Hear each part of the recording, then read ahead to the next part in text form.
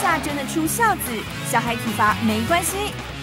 到底怎么样啊？真的就这样不要管吗？其实跟刚刚讲的一样，你打的时候你有情绪吗？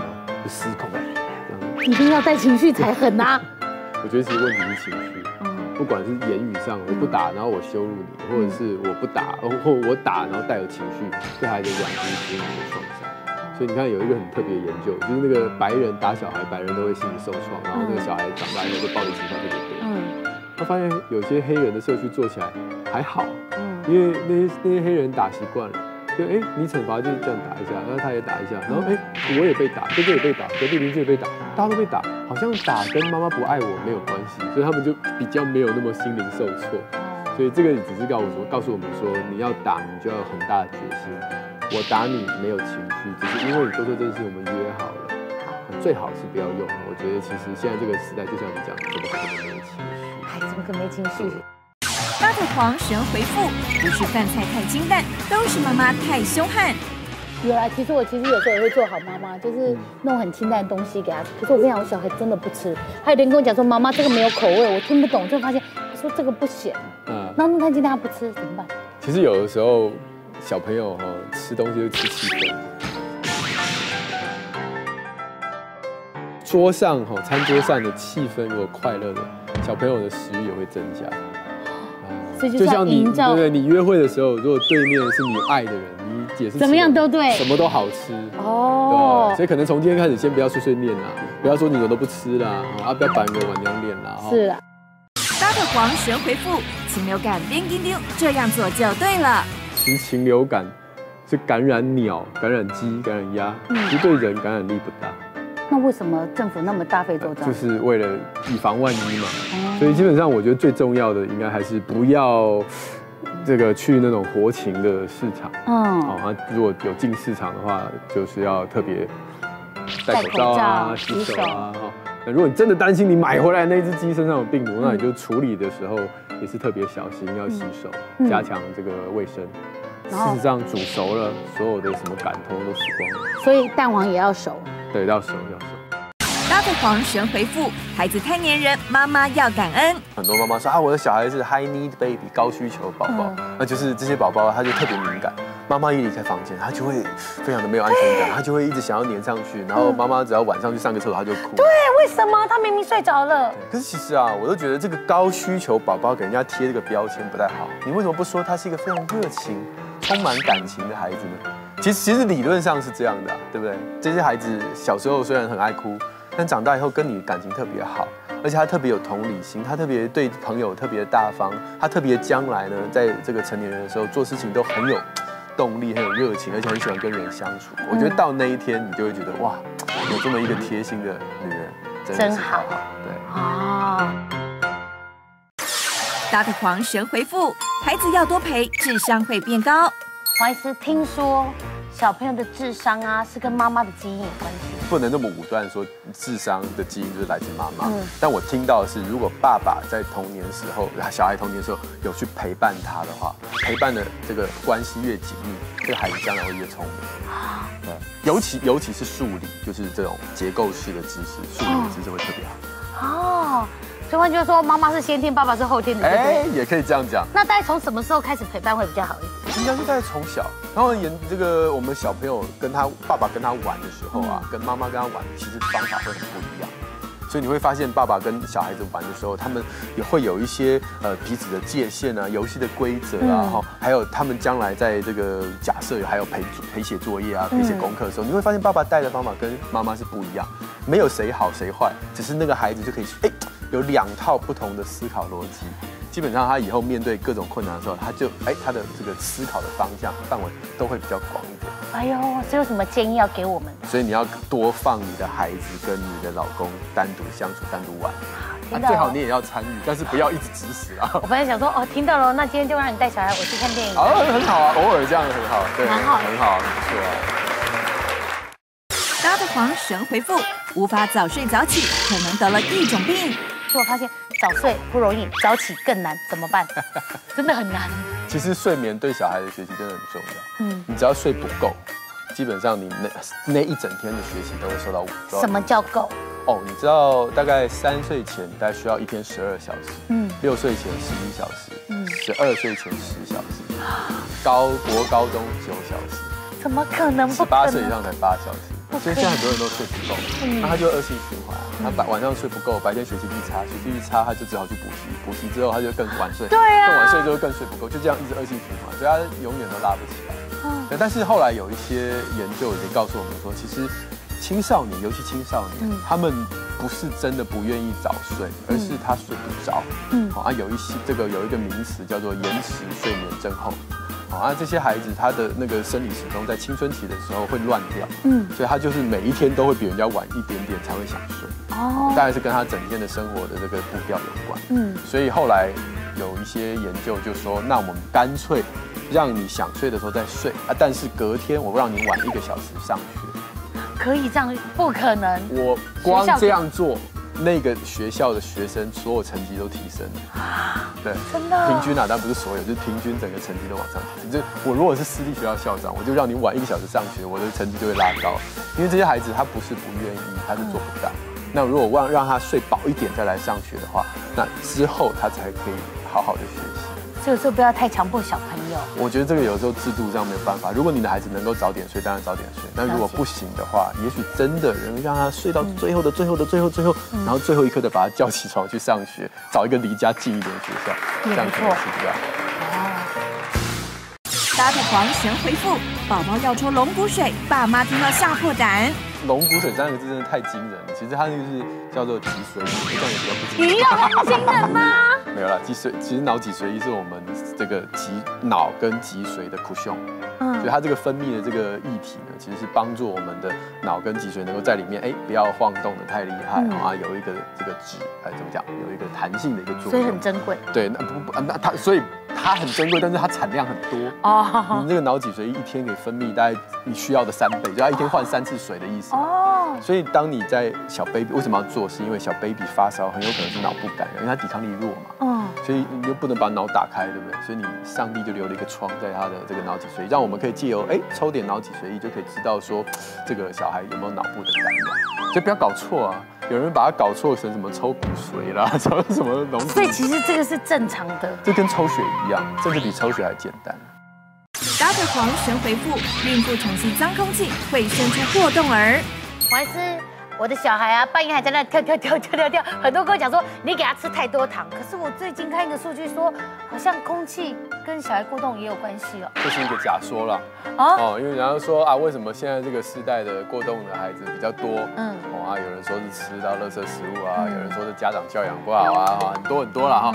但是最近有一个研究就是说，如果爸妈妈在怀孕的时候，哎，有吸到这个空气污染，PM 二点五，比如说汽车排放废气或者抽烟这类。嗯，那他的小孩长大以后，哎，他的这个过动的几率就会增加，所以表示那个过动的那个基因哦，真的还是有可以调控的。哦，你吸到这些脏东西，你的宝宝宝的基因的过动基因可能就会被打开。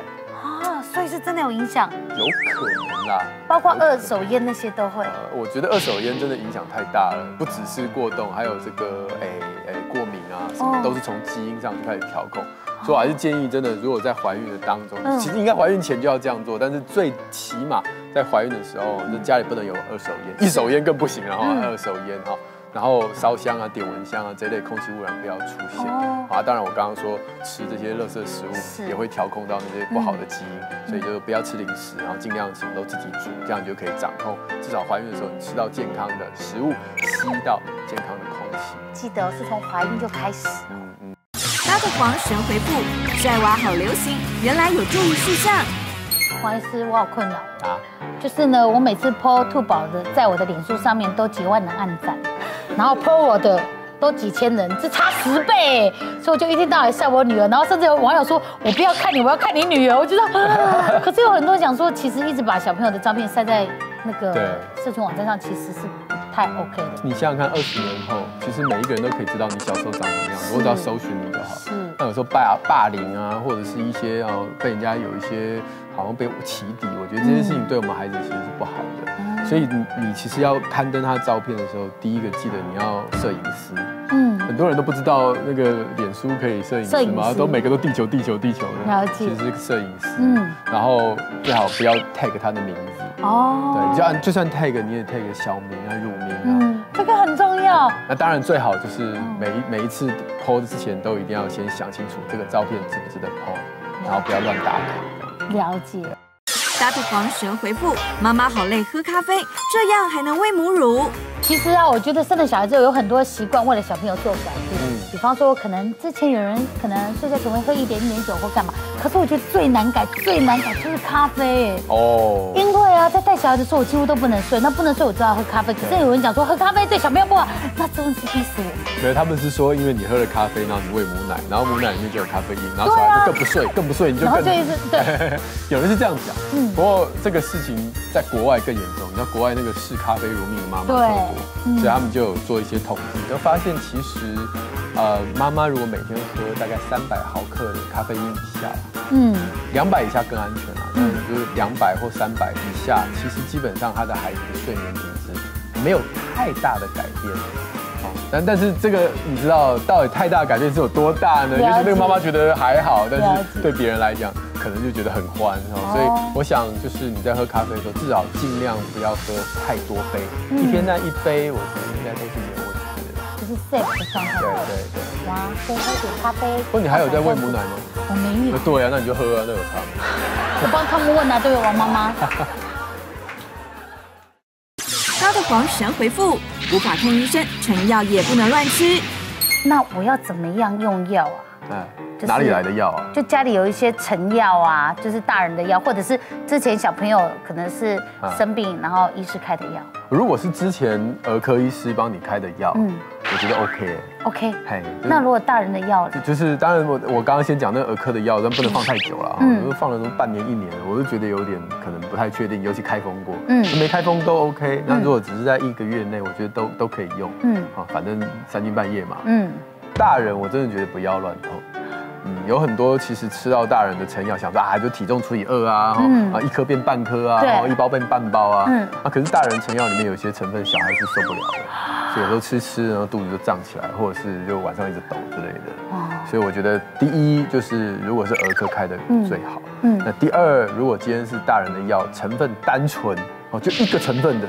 那至少你还可以上网查嘛。哦，上网查一下它是对，其实如果小朋友也有这个成分，那也许 OK。哦，就是不要有那个复方，就好几个成分的看不懂的。但我觉得这两个是最重要。那剂量的话，既然你是三更半夜又没有医生指示，当然是越低越好。越低越好。对，其实我现在比较不担心的，嗯，因为我有你的赖。他的狂神回复：没事不要挂急诊，新观念要谨记。我要跟医院说对不起。嗯，我之前为了以为兔宝吞了一个那个钥匙的那个塞，对对，然后我就去挂急诊，然后最后医生说你回家好了这样，所以我觉得我有点浪费那个医疗资源。不会，就他到底有没有吞进去？没有啊，而且他吞那么小，根本不可能吞那么大的东西啊。这爸妈太紧张，到底怎么什么样的状况我们可以挂急诊？不过你刚刚讲那个状况，应该就是比较偏是意外事故。嗯那这种其实，如果他真的吞了，你还是给挂急诊，我觉得没有关系。嗯。但是如果一般生病，有些有些发烧，然后就跑来挂急诊，我觉得这个就有点真的就是太紧张，太紧张了哈。所以我大概以后就会给爸妈四个建议。哎呦，还做自版？是是。第一个就是你的小孩子除了我发烧，其他症状之外，至少要合并第一个精神不佳，嗯，好，那第二个气喘不休，危险，第三个疼痛难耐，哪里痛都一样，头痛在地上打滚，肚子中间任何地方痛到睡不着，嗯，都是有点问题哈，然后呕吐，一直吐，而且不是只吐一次，而且喷射状吐，好，啊，这四个啊不要凑满哦，凑满就来不及了，啊，就其中一个，比如说真的哎。精神真的是，尤其烧也退了，嗯，然后还是一样爱看的电视不看，爱吃的东西不吃，爱玩的玩具不玩，就基本上就是符合这个条件。了解。所以你只要有其中一个，我觉得挂急诊，让医生帮你把关，在台湾是 OK。好，爸爸妈妈注意哦。大的黄神回复：妈妈又有了，哥哥姐姐不开心了。不好意思，其实我最后发现呢，小朋友之间是会互相吃醋的。之前有一个研究说。只要生第二胎啊，嗯，那个哥哥姐姐的血压平均就会升高百分之三。血压，小朋友讲到血压，对对对对，就是他可能每天就发现，哎，怎么家里多一个人？不过我觉得把它解读成说这个哥哥姐姐吃醋有压力，当然也可以啦，但也可能是很兴奋啊。哦，有弟弟妹妹来陪。对对对，所以不管我们也不用给人家污名化，说啊一一定就是因为你吃醋啊，没办法，这个妈妈有别人来剥夺妈妈的爱，不见得。但是基本上预备动作还是要做好。其实有手足的话，如果爸爸妈妈处理的好，你给每一个孩子有专属的。呃，爱哈，就是说我们不是什么事都两个人，那而且是单独有相处的空间，哦，然后有彼此之间的默契，然后让两个人不要彼此比较哈。那基本上其实有手足，还是让他们在人际关系上的成长会比较快一点。所以有一点点的血压升高，是我觉得是好事啦，还蛮健康的。不要是爸妈就好了，血压爸妈血压不止三 percent。大的黄神回复：孩子乖乖做家事，妈妈不能说的关键字。可是黄医师，像我之前叫兔宝做家事啊，我就说，那你呀，等一下帮忙做什么，我就给你糖果吃。但是现在我录了这节目，知道说哦不能用糖果，那我想说，那我就给你十块钱好了。可是最后发现，他最后就说哇，这样子我都有很多十块钱了，那以后我做家事就有钱。他现在说妈妈，我帮你做家事，给我十块钱，好像也不对，对不对？可是你看这里面有一个最 NG 的两个字，就是帮忙。他是帮你做家事，所以跟你要钱是应该的。哦，所以这是你应该做的。是，所以应该意思是让让孩子知道说，家事不是妈妈的事，也不是谁的什么费用的事，是我们大家每一个住在这家里面都应该要分配。就你分配这个，你分配这个，你分配你分配，然后你本来就应该给他零用钱，他没做家事扣他钱，这个比较有效。对。真的好狠哦！也对，你就不会被小孩说妈妈给我钱，因为这本来你该做的事情啊。主控权在你身上，说做的很好，这次零用钱好好给你。做不好，做不好我们要扣钱这样子。哎呦，很好哦，记得了。打着黄神回复：孩子久坐不爱动，跟爸妈学来的。其实有时候我们一直坐的时候，小朋友会跟我们一起啊，就一直坐着，然后看电视干嘛？其实我们久坐不好，小朋友久坐好像也不 OK，对不对？说的没错，所以其实真正家长你要以身作则。有一个研究就的确证实你刚刚讲的话，就他们去研究这个家庭里面的孩子，他是不是常常会站起来动来动去或运动啊等等，发现都正比于他们的爸爸妈妈的运动量跟久坐的时间。哎，所以原则上，如果你希望你的孩子不要久坐，然后起来常常起来休息动一动的话，其实那就要从你自己开始做，让他来跟着你学。那其实对孩子来讲，久坐的坏处跟大人一模一样。第一个是，呃，我们最能够预期的是，你现在养成这种习惯，你将来是，当然长大以后什么肥胖啊、体脂肪增加或不运动等等问问题都会在未来出现。那此时此刻，现在大概最大的问题就是肌力了。嗯，你很多小朋友弯腰驼背，对不对？什么这个这个驼背，然后脊椎侧弯，然后姿势不良，每天被念不要翘脚，不要干嘛，不要驼背，不要你一直念他没有用，因为他的肌肉。就是这么软，对，所以久坐，我想最大还有一个目前的问题，就是让我们的孩子不要久坐，让他站起来的姿势就会比较标准。所以出来动一动吧。对。八的狂神回复：孩子分心坐不住，干脆出去动一动。其实现在小孩很可怜，他也不想久坐，也想出去玩，可是有时候真的书就那么多，要一直念，一直念，一直念。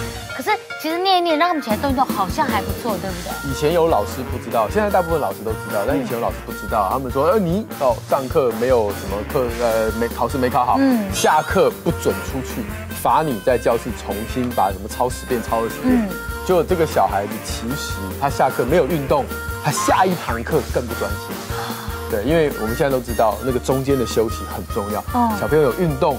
他反而下一堂课的记忆力、学习力都会变得比较好，所以不管你上一堂课犯什么错误，出去跑跑跳跳，然后你待会儿再回来，其实反而对你的大脑是一个活化的刺激。这个其实，在尤其在过动的小孩更显著。是，对对，那过动的小孩啊，二十分钟动一动，然后再回来的话，那他整个成绩、他整个运算能力、记忆力都会比较好。所以你家的孩子是二十分钟休息，还是三十分钟休息，还是十分钟休息，要看你对他的认识。了解。狂神回复：孩子牙黑黑，不见得是蛀牙。刚刚妈妈有提到，就是呢，吃东西吃到最后牙齿黑黑的，然后他到底是不是蛀牙？好像好像其实有点不一样。没有没有，牙齿黑黑，你就要给牙医师看。嗯，那牙医师就会告诉你是蛀牙还是不蛀牙。哦。那如果牙医师跟你讲说，哦，恭喜你，你没有蛀牙，嗯，那你就回家就要开始想，说为什么牙齿黑黑？通常牙医师会他会告诉你啦。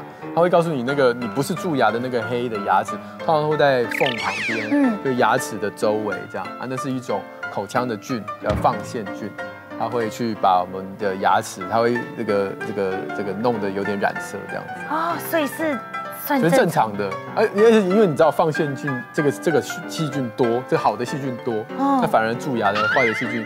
就少，所以会稍微还甚至是一点保护的效果。那那有没有什么处理方法可以让它不要看起来真的很像蛀牙的？说老实话，嗯，找那个比如牙医师啊，看你熬熬不过你，对对对对，他就好好帮你刮掉，刮掉之后没多久就长回来。哦，对，所以后来通常就是按兵不动，就不理它。所以 Let it go。对，然后等到恒齿长出来，通常黑黑的牙齿就比较少。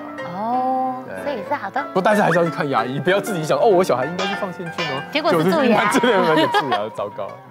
他的黄神回复：过动、焦虑、妥瑞，妈妈都是全紧张。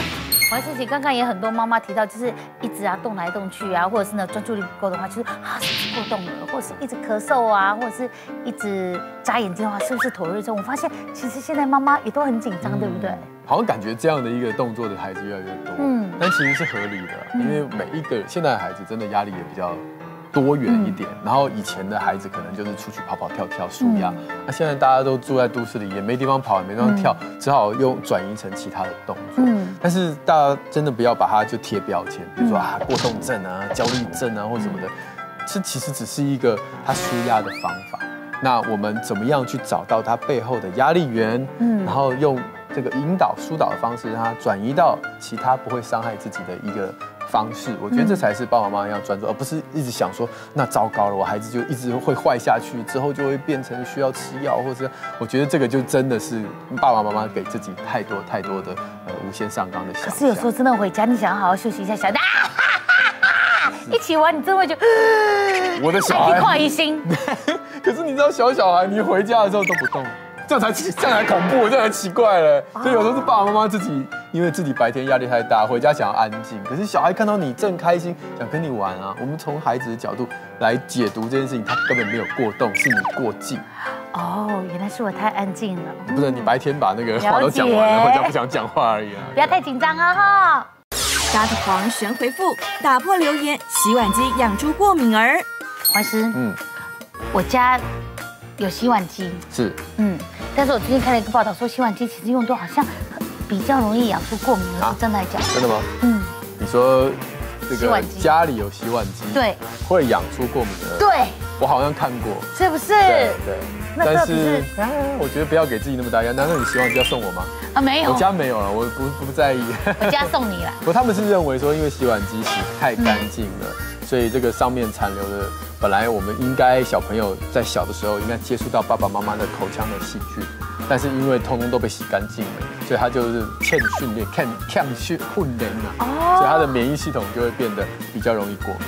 但也有人认为说才不是，那是因为里面有一些添加物啊，而就是这个洗剂所造成的一些毒害的影响，也有人这样解读。但 anyway，我是觉得。其实你洗碗机只要把碗盘洗干净，这样我觉得这没有什么关系。但是刚才讲的，在餐桌上真的就不要那么的紧张，哦，消毒啊，去自己家人又不去外面吃漂白水啊，漂白水擦地板啊，然后每一个人都一只汤匙，还不可以跟爸爸共用，不行。就是我觉得在自己家不用这样，让孩子接触一些我们爸爸妈妈身上的菌种，也是训练他的一种方法，就对。那如果像家里已经有洗碗机，然后小孩又真的过敏了，那该怎么办？哦，你说已经。这洗碗机已经在了啊，小孩已经症状出来了，对，那就那就好好去照顾他的过敏啦，不要只怪在那个洗碗机上面，因为不会只有那个因素的哦。哎，那这时候你看你是哪一种过敏嘛？皮肤过敏就好好照顾皮肤，好啊。如果呼吸道过敏就尘螨霉菌这一类的，就是就是不要只怪在洗碗机上面，就是各个方面都要好好帮，你就认了吧，你就照顾他的。我会打赖给你，喂，黄医师，黄医师哦，天天哦。打起黄神回复，天天抱一下，让夫妻更健康。黄医师之前有那种实验，就是譬如说讨抱抱的那种实验，譬如说哦要跟一百个人、一千个人抱抱，可是真的有这个说法，就是说好像一天跟三个人拥抱会比较快乐。我都每次都觉得说。呃，有一句圣经的话叫“喜乐的心乃是良药”啊，大家说啊，这个大概就是神学啊、哲学。哎，其实现在越来越多的医学证据就告诉你，其实你如果很快乐，或者常常有这种拥抱，嗯，那么你的身体真的会变健康。啊。因为你看，你不要小看拥抱这个动作啊，他的身体的整个呃这个呃交感神经都在放松，嗯，然后大脑有时候会产生一些，比如说催产素啊，或者一些大脑释放一些物质，嗯，然后会让你血压就会下降。哎呦，所以如果你家有这个，很多人都要说，哎呦，如果高血压，那不要碰你。但不是，其实高血压你反而要多给他温暖的抱抱，那血压还会降低。哎呦，好了，我知道了，那我们就抱抱主持了。哎，那就不用了，我没有高血压，你抱你老公就可以了。搭配黄璇回复：孩子说话太粗鲁，爸妈教出来的。前几天我跟兔宝吵架，就开始说不要再吃糖喽，他就这样，好，我知道，就真的那么凶哦。所以我其实有点吓一跳，我说你怎么会那么的粗鲁来对我？你反应会不会也太大了？很多小朋友好像都有这样的状况，对不对？呃，之前有一个很特别的研究啊，他就是去做一些模拟的。的测验，嗯，然后就说，比如说你今天在路上有一个人突然撞你一下，嗯，好，啊，你会有什么反应？嗯，那可能有些人就是会说，我会回头先看看他为什么撞我啊，然后啊，有可能他是呃不小心，对，行动不便的人不小心啊，那有些人说我回头就先给他一拳啊，或者是我就先先先骂人再讲，他会发现，哎，其实这一些呃回复当中那些回应比较粗鲁的人。他其实心中的敌意指数是比较高。所谓敌意指数，就是说他对任何人跟他讲的话，他第一个是先负面的解读，就是你在刁我，你在嫌我，你是不是看不起我？就是这个负面的脑的情绪在他脑袋里面是一个基本他思考的模式。嗯，所以当有一人哎碰到他的时候，他就啊。那这个怎么样去解决？其实都在我们的生活教养当中，尤其孩子。哦。爸爸妈妈如果每次都像警察一样，你是不是偷吃东西？是不是你偷拿的？嗯。你是故意的？嗯。那小孩子就会用这种方式来面对他的人生。别的同学有一天不小心啊拿到东西，你是不是要偷我东西？你这，哦，你看这种粗鲁动作就会出来。其实我们在家能够用正面的解读他的每每一个行为，你都先帮他讲一个好理由。就哎，你今天跟我讲大声，是因为。怕我听不到，或者是刚刚很吵，或者你想睡觉，你给他一个下台阶，那他以后在面对人生当中，他就会帮别人想一个下台阶。哦，这个社会多祥和啊！哇塞，他真的是一个心中很有爱的医师。我应该办不到，但我努力，好不好？高的黄神回复：长高吃钙片不如吃青菜。爱吃。嗯，我担心兔宝遗传到我，因为我才一五五。嗯，他不够高，我是不是应该给他补钙？补钙。嗯。这个什么年代还在补钙？有啊，有很多钙片那一些的，还什么初乳钙什么什么的。你是希望它长高，所以补钙？对。那我就会跟你讲，没有任何研究告诉你补钙可以长高。对，你们都搞错方向，还有人在旁边惊呼。那不然呢？因为那是概念，是因为大家觉得喝牛奶会长高啊，因为牛奶钙质多，你就觉得补钙会长高。嗯。但其实牛奶里面会让你长高的，应该不是跟钙有关，是别的因素。哦。对啊，其实钙质有已经有研究了，就是就算你怎么补怎么补，你的骨质也就只比一般人再增加百分之一点七。哦。而且你一停止补，它就回到原原形了。哦。更何况骨质密度跟高不高也没有关系。哎呦，那应该补什么才对？所以真正应该还是均衡的营养，足够的这个蛋白质，还有重点就是这个的青菜哦。因为其实我们绿色蔬菜里面有很多很多的钾离子啊，还有很多我们不知道哈，这天然的东西在里面，所以反而会让我们整个的生长会变得更好。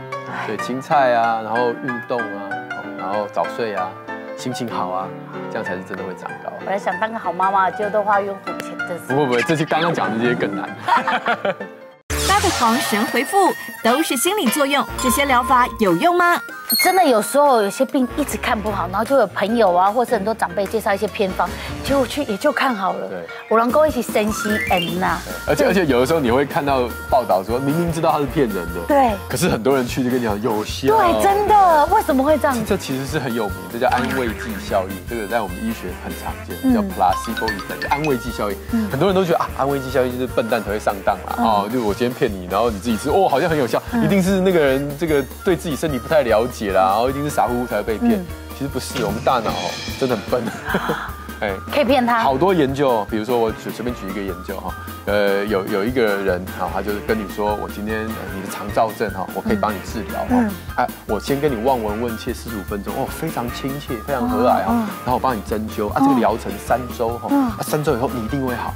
三周以后呢，四十五 percent 的人都说我好像好了这样子啊，那六六十 percent 人都觉得我好像好了。但其实那个针灸师是假的，他乱针，他就是看到哪就随便乱针，他没有针在任何的穴位上。嗯，但是。因为那个亲切，因为那个保证，一定会好。其实那个大脑就就会相信这件事情。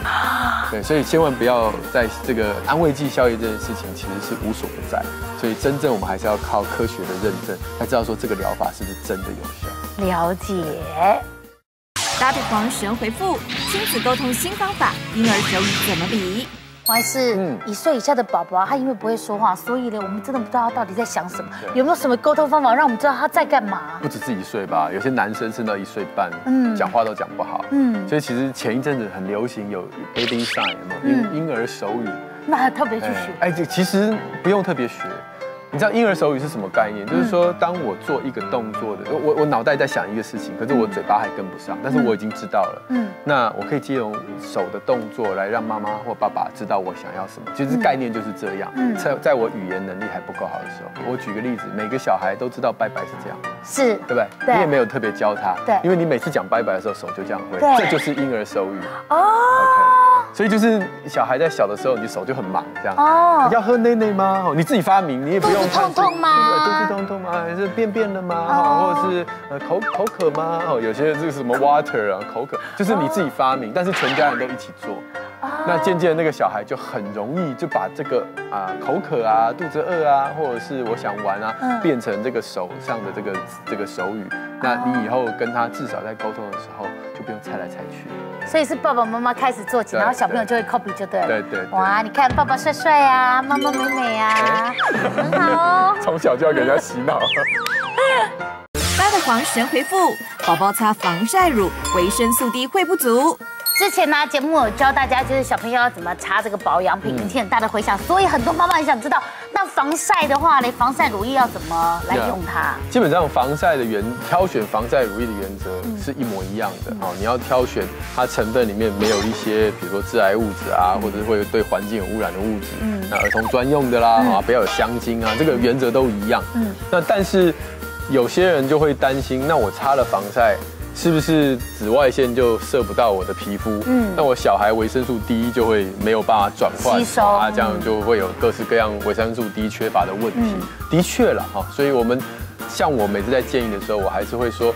你如果今天要带孩子出去超过三十分钟，嗯，哦，比如说你去海边玩，哦，啊，要已经知道今天会玩一下午了，超过三十分钟以上，嗯，那你才会在那之前就先擦防晒乳液。哦，啊，你只是去楼下骑个车，三十分钟就上来，嗯，就让他有一点维他命 D 吧，晒一晒，哈，不用特别擦防晒乳液。哦，啊，还有其他一些，因为美国有很多的小孩，因为他小时候晒太多太阳，嗯，会长大。会增加他们皮肤癌的风险，是。未来，所以他们就说，哎，中午十点啊，早上十点到下午四点这段时间哦，不要一直都在外面，然后那你一定要擦防晒，好，还有一些比如说六个月以下小婴儿哈，也不要直接就晒到太阳，大概类似一些提醒嘛，嗯，这是一点小小的 paper 要注意一下下。大的黄神回复，有一种哭叫肠绞痛。其实以前我小朋友哭的时候，很多人都说啊，那个是肠绞痛啊。可是我最后发现，他每天都哭，不可能每天都肠绞痛啊，怎么分辨呢？其实肠绞痛这个名词呢，它不算是一个很正确的命名，因为它不见得跟肠子有关。嗯。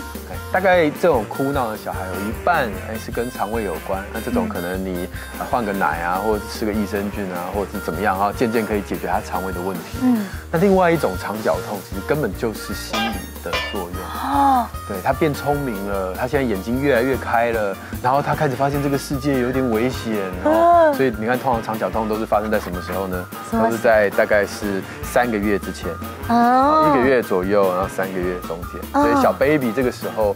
他开始会有一天固定一的时间，然后他就会大哭，啊，每次哭可能就是哭个一一个小时，哎，可是中场休息的时候都没问题哦，嗯，吃也 OK，哦啊玩也 OK，啊排便也正常，哦啊但但是就是这个抱抱啊都都没事这样子，所以原则上你如果有这个孩子，大部分的时间都是健康的，只有一天有一次是哭闹的，我们就会把它定义为心理。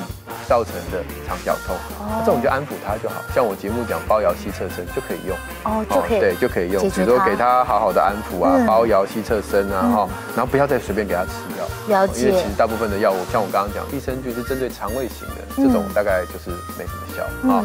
那反正时间到了就好了啊，有些是白天睡太久了，哦呦，晚上晚上就很灰，真的按公教令按公教，好了解。大的黄旋回复：孩子爱钻角落，到底是为什么？还是为什么小朋友很喜欢找一个地方，比方说桌子下面、床下面、窗帘里面，其实有时候很危险的，这是为什么害羞吗？因为其实，在小孩大脑里面，我们大人的这种空间世界太复杂了。嗯，你会发现小孩有小朋友进到一个新的环境啊。他会注意到很多你没有注意到的细节，嗯，就表示其实这个空间对他来讲是很不能掌控的。嗯，我们我们会觉得说啊，这个不用管他，这个不用管他，我们只要专注在哎朋友啊喝下午茶。但对孩子来讲，那个空间它不只是桌子椅子，然后装潢那裂缝窗户，他每个都要看，他其实很没有安全感。嗯，可是如果今天我可以自己搭一个小空间，哦啊这边就是家徒四壁哈，一个小纸箱啊，我在这边摆一个东西，按一个门很好玩。对他来讲，这个。这个空间我完全可以掌控，很 有安全感。哦，所以其实我们不用去制止他，不不用制止，甚至要建造、打造一个像为什么小孩很喜欢树屋？哦，帐篷对帐篷、小帐篷或者树屋，对我国外小孩一定有一个 tree house，就是因为我们自己帮他打造。嗯，啊，不过打造的时候我们还是要注意安全啦，就像你讲的，嗯，哦，就太密密闭，然后没有这不透气，然后在里面闷死的人不行啊。所以安全性哦，然后这个呃空间性哦，大家太小就搞到关节都受伤什么哈。软骨功，对对，大家类似我们帮他打造一个差不多适合可以伸展稍微手脚的地方，嗯，陪着他一起打造。一个自己的家，哎，这个很棒。也对，小时候我很喜欢纸箱，嗯，但现在纸箱已经装不下我。哎，就。大的黄神回复：孩子遇上小霸王，妈妈出手看时机。好烦恼，其实很怕自己的小孩没礼貌，嗯，可是更怕自己的小孩遇到没礼貌的小孩，嗯，这该怎么办呢？我真的有时候很想出手，我很想跟他讲说，那个你的妈妈，你要不要不要花手机？你先来管管你小孩。可是觉得这好像不行。我我觉得这个好难哦，因为这个其实跟你的孩子的个性有关系，嗯，真的处理方法都很不同，嗯，像呃，我我觉得第一步就是如果那个孩子是累犯。嗯，而且显然他是别人家小孩，你也不能管他嘛。嗯，真的就要学习梦里三千，我们就把他带离现场，或者是甚至我更更积极的，甚至有转班转学的都有。哦，就是那个小孩已经盯上他了。嗯，那这个是这个是比较严重的状况。那大部分都是只是被你看刚好看到。嗯，那那个只是单一事件，它是无心的。我觉得可以让。孩子自己去处理那个冲突，只要没有造成太多危险的伤害，对。那你也可以，如果小孩不知道怎么处理，你也可以事后陪他说啊，那个今天有谁谁谁不小心攻击到你，那你觉得怎么样做？下次你觉得怎么样做比较好？哦，你可以跟他说，我不喜欢你这样碰我啊，或什么，你可以跟他讨论，嗯，所以让他去试，然后回来跟你讨论。一次两次之后，他会找到，甚至可能会找到比你更好的方法，嗯，来解决有人对他不礼貌的状态。其实小朋友有他自己解决的方法，是真的会找到自己的小天地。嗯。大的黄神回复：别对小孩说你太胖了。还是我一个好朋友，他很胖，嗯，然后说他印象最深就是他有一次走在路上，有一个妈妈就牵着一个小孩，就指着他说，对他的小孩说：“你看你，你再吃就跟他一样胖。”哦，我发现其实。讲自己的小孩胖，或是笑人家胖，这是很不对的事情。其实有你知道有研究发现啊，如果你小你对你的孩子小时候用这种伤害性的言语出来，就是提醒他哎应该要注意体重，这无可厚非。可是如果像你这种说法，就是说你再胖下去试看看，你就会怎样怎样，或者说你这个胖子直接给他贴标签，就是你就是一直胖。嗯，那么其实这个孩子他的心里面就会被烙上这个标签，反而他将来就会胖。对，就是他长大以后，包括一些那个暴饮暴食啊，或者甚至有一些这个反过来是变成厌食，就是因为我很胖，所以他就有精神的问题，然后开始吃不吃不吃不吃不吃，然后瘦到生病。嗯，所以其实我们在提醒小朋友体重的时候，真的不能用这种羞辱性的言辞。我们以为是爱他，但有可能是害了他。所以记得要说，呃，保持身材好一点点。对，通常我们会说，呃，我们一起健康哦，一起努力啊，一起健康。那我不没有要嫌他，也没有说不爱他。了解，不要说你太胖。大的黄神回复：产后瘦身太快太慢都 NG。还是我在月子中心的时候啊，当我生完小孩的时候，体重回到八十二的时候，我好开心，哦想说。之前的体重就觉得哇，要把握那个黄金的一个月，可是发现好像我算错时间，那一个月应该要好好休养，不应该运动，对不对？生完小孩身体是一个很大的伤害，嗯，你的子宫要修复啊，你伤口要修复啊，而且你还要喂奶啊，对，然后精神的压力、睡眠不足，然后你又给自己多一个压力，说我要瘦身，其实对你整个身体都是不好，所以你会发现那些非常非常积极想要在产后就瘦身的人，他要不就感染，再不然就是没有奶。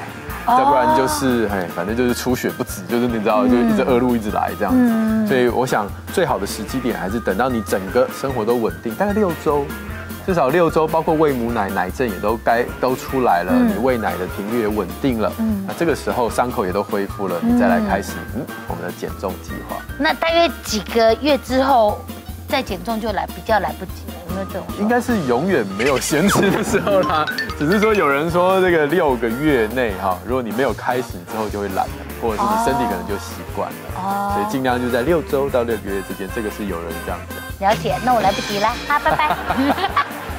高的狂神回复：不要小朋友尿床，病情其实不单纯。怀是其实在借尿布的时候，小朋友尿床是很正常的。对比方说，刚开始第一泡我们都会很小心，哇，赶快吹干，第二天换床单。到后面就啊，反正尿就尿，吹干掉了，童子尿也还蛮香的。可是好像有一些尿床的问题，嗯，对哦，它好像不是很单纯。我先让大家安慰一下，就是晚上尿床这件事，就是夜间的借尿布，这是每个孩子年龄真的不一样。其实到六岁都还有百分之十的小孩，他晚上是会需要尿布的。啊，这是正常的，没有病哈。啊，如果你已经戒成功了，好像你刚刚讲，哎呦，已经渐渐这个尿床事件很少了，但是有几个事情你就不能掉以轻心。第一个就是他都本来没有尿了，哎，突然之间尿床，新的尿床事件，好，然后第二个就是他跟你讲，然后尿尿会痛。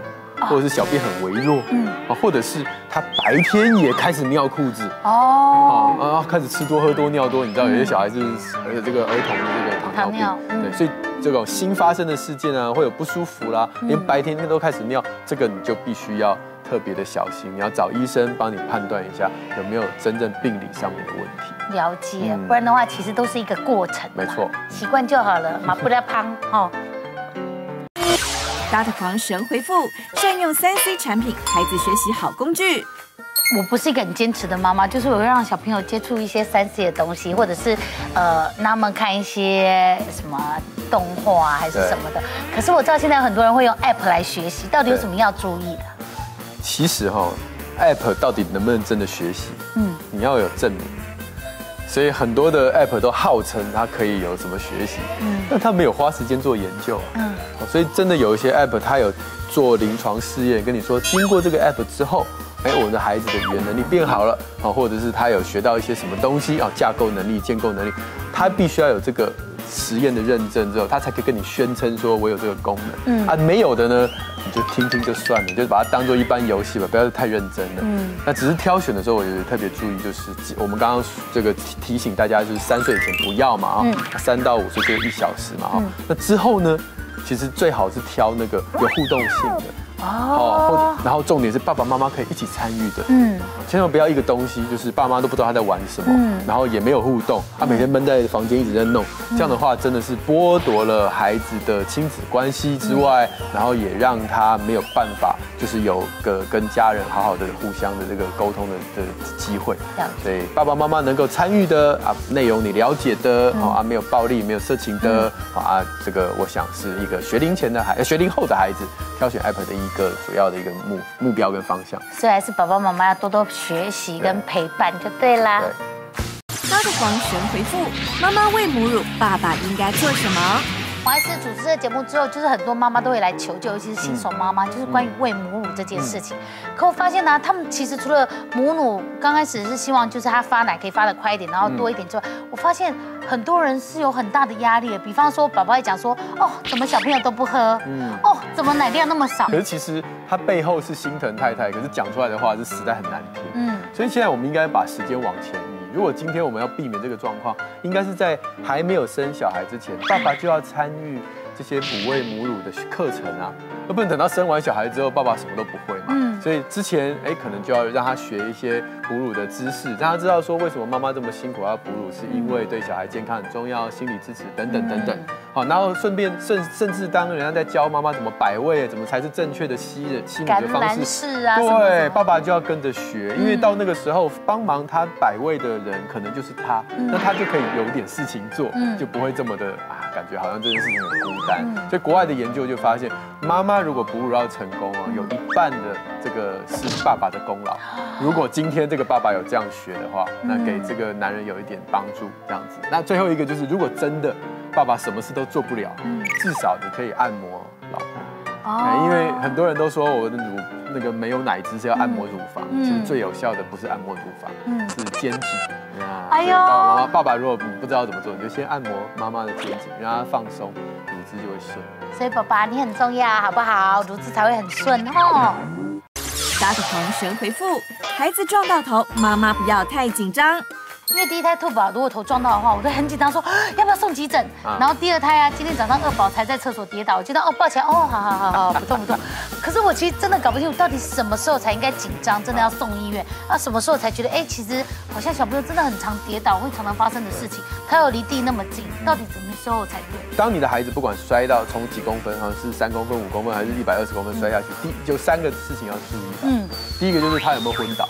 啊，摔下去大哭就先得分，因为表示他没有昏倒。嗯，啊，摔下去没声音，这个就是大扣分，这第一个。嗯，第二个就是他有没有外伤。哦，比如说很多人都描述跟我说，我小孩摔得好重啊，什么一摸根本什么都没有，也没肿，也没有血，什么都没有，也没外伤，也没内伤，就是你没有看到血肿，没有看到肿起来，那么基本上就在加分，表示这个伤这个撞击力其实没有那么大。嗯，那就算有些没有外伤，他还是有可能会有问题，所以观察第三个是三天。这三天内呢，如果没有莫名的呕吐或者精神变不好，那么这个状况就警报解除。嗯，之后就别再想这件事情。嗯，别在那边指指点点说让我小孩现在成绩不好，就是你小时候摔没没有那么拖那么久，三天过了没事，就是没有事。我现在都很聪明，他如果说跌倒的时候呢，旁边有人在，我就把他抱起来捂住他的，因为我会被骂。对呀，这样都有压力。对啊，所以记得哦，注意这三点就差不多了。家的狂神回复：妈妈们注意了，高龄怀孕有好处。经理，您二宝生的时候是几岁？四十三岁。哇，哎，我有个好消息告诉你。什么？最近有一个研究啊，就说，哎，虽然高龄产妇有很多，你产前要检查这个检查那个很麻烦，对不对？可是，哎，如果健康，哎，生下来之后，对。孩子跟对妈妈呢都有好处，真的，因为大家都说高龄产妇比较危险。不不不不，我们先讲对孩子的好处，因为大部分在这个年龄出生的孩子，可能经济条件啊，家里的经济条件比较好了，嗯，好，那也许啦，我们只能说也许爸爸妈妈比较多时间来陪伴这个孩子，所以这些孩子将来，哎，根据统计哦，哎，反而他们的智商或者是他们的成就会稍微高一点。那妈妈呢？妈妈有一个好处就是她会活得比较久。就是丹麦有一个研究很妙啊，他就说，如果你第一胎是二十九岁之前生哈，就比较早生的，嗯，跟那个三十三岁以后才生的哈，那这两组妈妈去比，他们看谁活得比较久，就发现那个比较晚生的妈妈，她会活到九十岁的几率啊，九十五岁的几率呢会增加百分之五十，真的？对对对，你想活到九十五岁吗？也是不用。对，但是还是希望小朋友可以陪他长大。可能就是，当然背后怎么解释说为什么晚生会活比较久？可能是因为身体就是会告诉自己说，我要照顾这个小孩，所以你会让自己身体调整，可能就是比较长寿一点啊，或者比较注意自己健康，很多因素了哈，不晓得是生理或心理。但总之呢，希望你能够活得长长久久喽。好，我会的。家的狂神回复：怀孕好无奈，为什么让我变过敏？怀孕对妈妈真的有时候是考验，因为比如说怀孕之前你发现自己没有高血压，怀孕之后就有了；自己没有糖尿病，怀孕之后就有。好像有些妈妈说之前好像鼻子没有觉得哇有过敏，结果怀孕之后就有了，为什么会这样？不是你那个高血压、糖尿病，通常都是怀孕者不知道自己有高血压，不知道自己有糖尿病，然后因为怀孕被抽血或被量血压，才发现原来我有，你之前都不晓得。但过敏这件事情倒是真的，就是说呃研究显示有三分之一的妈妈怀孕之后她过敏就变严重。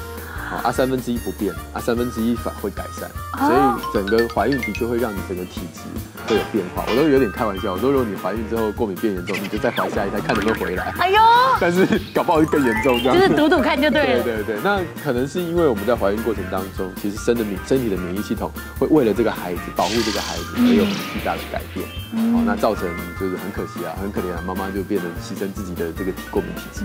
我有一种常常会误认的，就是她怀孕当中开始鼻塞很严重，嗯，可是他也不打喷嚏，也不流鼻涕，他就是鼻塞，然后妈妈就自己觉得自己是过敏性眼黑眼圈这样。嗯。不那种就是怀孕本身的一些并发症，它就是一个不是并发症，就是会的妊娠型的鼻炎。哦。啊，那个有点像水肿有关的啦，然后那等到荷尔蒙退了后，生完小孩就会好，所以这种就不算。那如果真的这样怀孕以后过敏怎么办？哦，如刚刚讲，如果是那种怀孕当中过敏，那个自己会好。嗯，那如果是怀孕后才开始过敏的话，其实基本上也是好事情，因为你先把环境饮食先控制好，因为你的小孩可能遗传你体质啊，等于你照顾自己，但同时预防你的小孩过敏，这不是一举两得。哇塞，好正面的意思哦。搭配防神回复，不是生长痛，小孩也会关节炎。不知道为什么今天录这一集，我觉得整个所有的关节都酸酸的。可是我觉得不止上了年纪的人，好像小孩子也会有一些关节的问题，对不对？那小孩通常是发炎啊，呃，可能是感染，当然有可能什么自体免疫的疾病之类。嗯，那我们小孩最难分辨就是生长痛。对啊，跟你讲这里痛那里痛，你也搞不清楚。所以通常你如果发现你的小朋友他生长痛，他会一下左边，一下右边，一个上面，一下下面。嗯，但是如果他真的是发炎，他会告诉你就是脓子。一直在那个地方，比如说都是右脚，然后都是某一个位置，嗯，而且不只是睡觉前，睡觉前塞奶这个比较容易是假的，但是白天也痛，嗯，然后连走路开始一拐一拐，嗯，啊，那这真的非常要小心了。了解。然后小孩最容易误被误判的就是他这边感染，他会跟你讲这里痛。所以好多小儿科医生，就或者是不是小儿科，就是很多医生就会以为是这里出问题，然后一直检查，一直检查，就是髋关节出问题。所以这个是小朋友常见的一个，呃，就是他发炎在上面会痛别的地方，这是我们要特特别注意。哎呦，那所以像我现在觉得整个关节都酸酸，你觉得我会不会是成长痛？妊娠纹也叫成长痛吗？欠揍。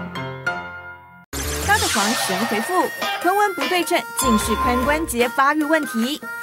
黄医师，这是网络上的照片，因为很多网友都在讲说臀纹不对称啊，是髋关节有问题，妈妈要小心，是真的还是假的？的确没有错。我们在看小孩的时候，我们看，哎，这臀纹好像不太对称，嗯，我们会特别做一些检查。所以是真的，是真的是真的。但是臀纹不对称，九成都不是啊，九成都不是髋关节的问题，而是我们儿科医生要注意，其中有一些小孩可能是真的。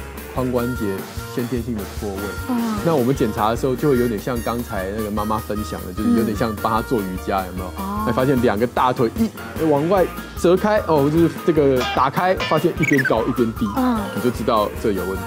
高的那边应该就是脱臼。哦，啊，我们会帮他检查，但是在家你不用看到就开始哭，因为大部分都只是太胖了。那我想我还是不要多问我自己的问题好了，拜拜。黄神回复：帮小孩清耳屎真的有必要吗？怀疑是之前兔宝在怀疑是不是有中耳炎，然后医生就让我看那个耳朵那个，他说你自己看，你自己看，他这里有积水。我听到，我只看到一堆很像钟乳石，因为他耳屎好多，我听到上下都有哎。耳屎到底要不要挖？这个这个时候没办法，因为医生为了要看你有没有中耳炎，必须把中间的石头都排除，对啊，他才看得到耳膜。所以这种特殊状况下，医生会帮你清耳屎。嗯，但是一般在家里面，说老实话，真的不用。耳屎并不会造成感染。哦，真正会让你感染是你挖耳屎的时候，把你耳道弄受伤才会感染。第一，第二，耳屎不止不会让你感染，还会保护你不会感染。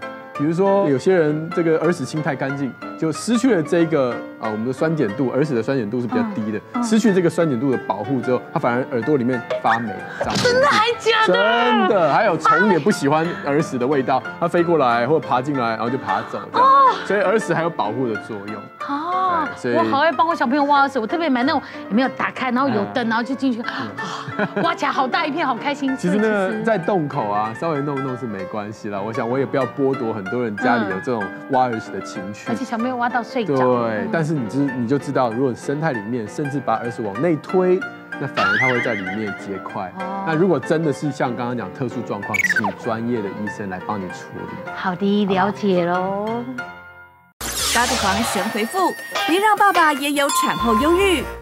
其实有时候生完小孩之后啊，很多妈妈都会有产后忧郁症，因为不知道怎么照顾小孩，然后也不知道怎么照顾自己这样。哎，你不要说不要说妈妈，嗯，爸爸也会有产后忧郁，好可怜的，他也没生小孩，得什么产后忧郁症？我必须承认啦，因为爸爸他是没有荷尔蒙的变化，只是他的产后忧郁大部分还是外在给他的压力。嗯，比如说妈妈生完小孩之后，所有全神贯注都在小孩身上，爸爸就很孤单，然后啊他想要帮忙，妈妈就说不要碰，不要碰，不要碰，然后你不会这样，不会抱小孩头晃来晃去。对，妈妈有的时候因为这样而这个工作辞掉，爸爸就糟糕了，现在所有经济压力都在我身上。要养家，然后就你知道，就男人有苦不说嘛，每天就压力很大。其实真的会有忧郁，听说十个里面就有一个有。哦，所以比如说，其实有时候在鼓励妈妈，然后照顾小孩的时候，你要注意爸爸的情绪。对，我觉得妈妈当然很辛苦，所以妈妈也很需要被照顾，但偶尔关心一下你的枕边人，要哎，问问他今天心情怎么样。其实只要有关心，有聊一聊，我想爸爸心情都会好很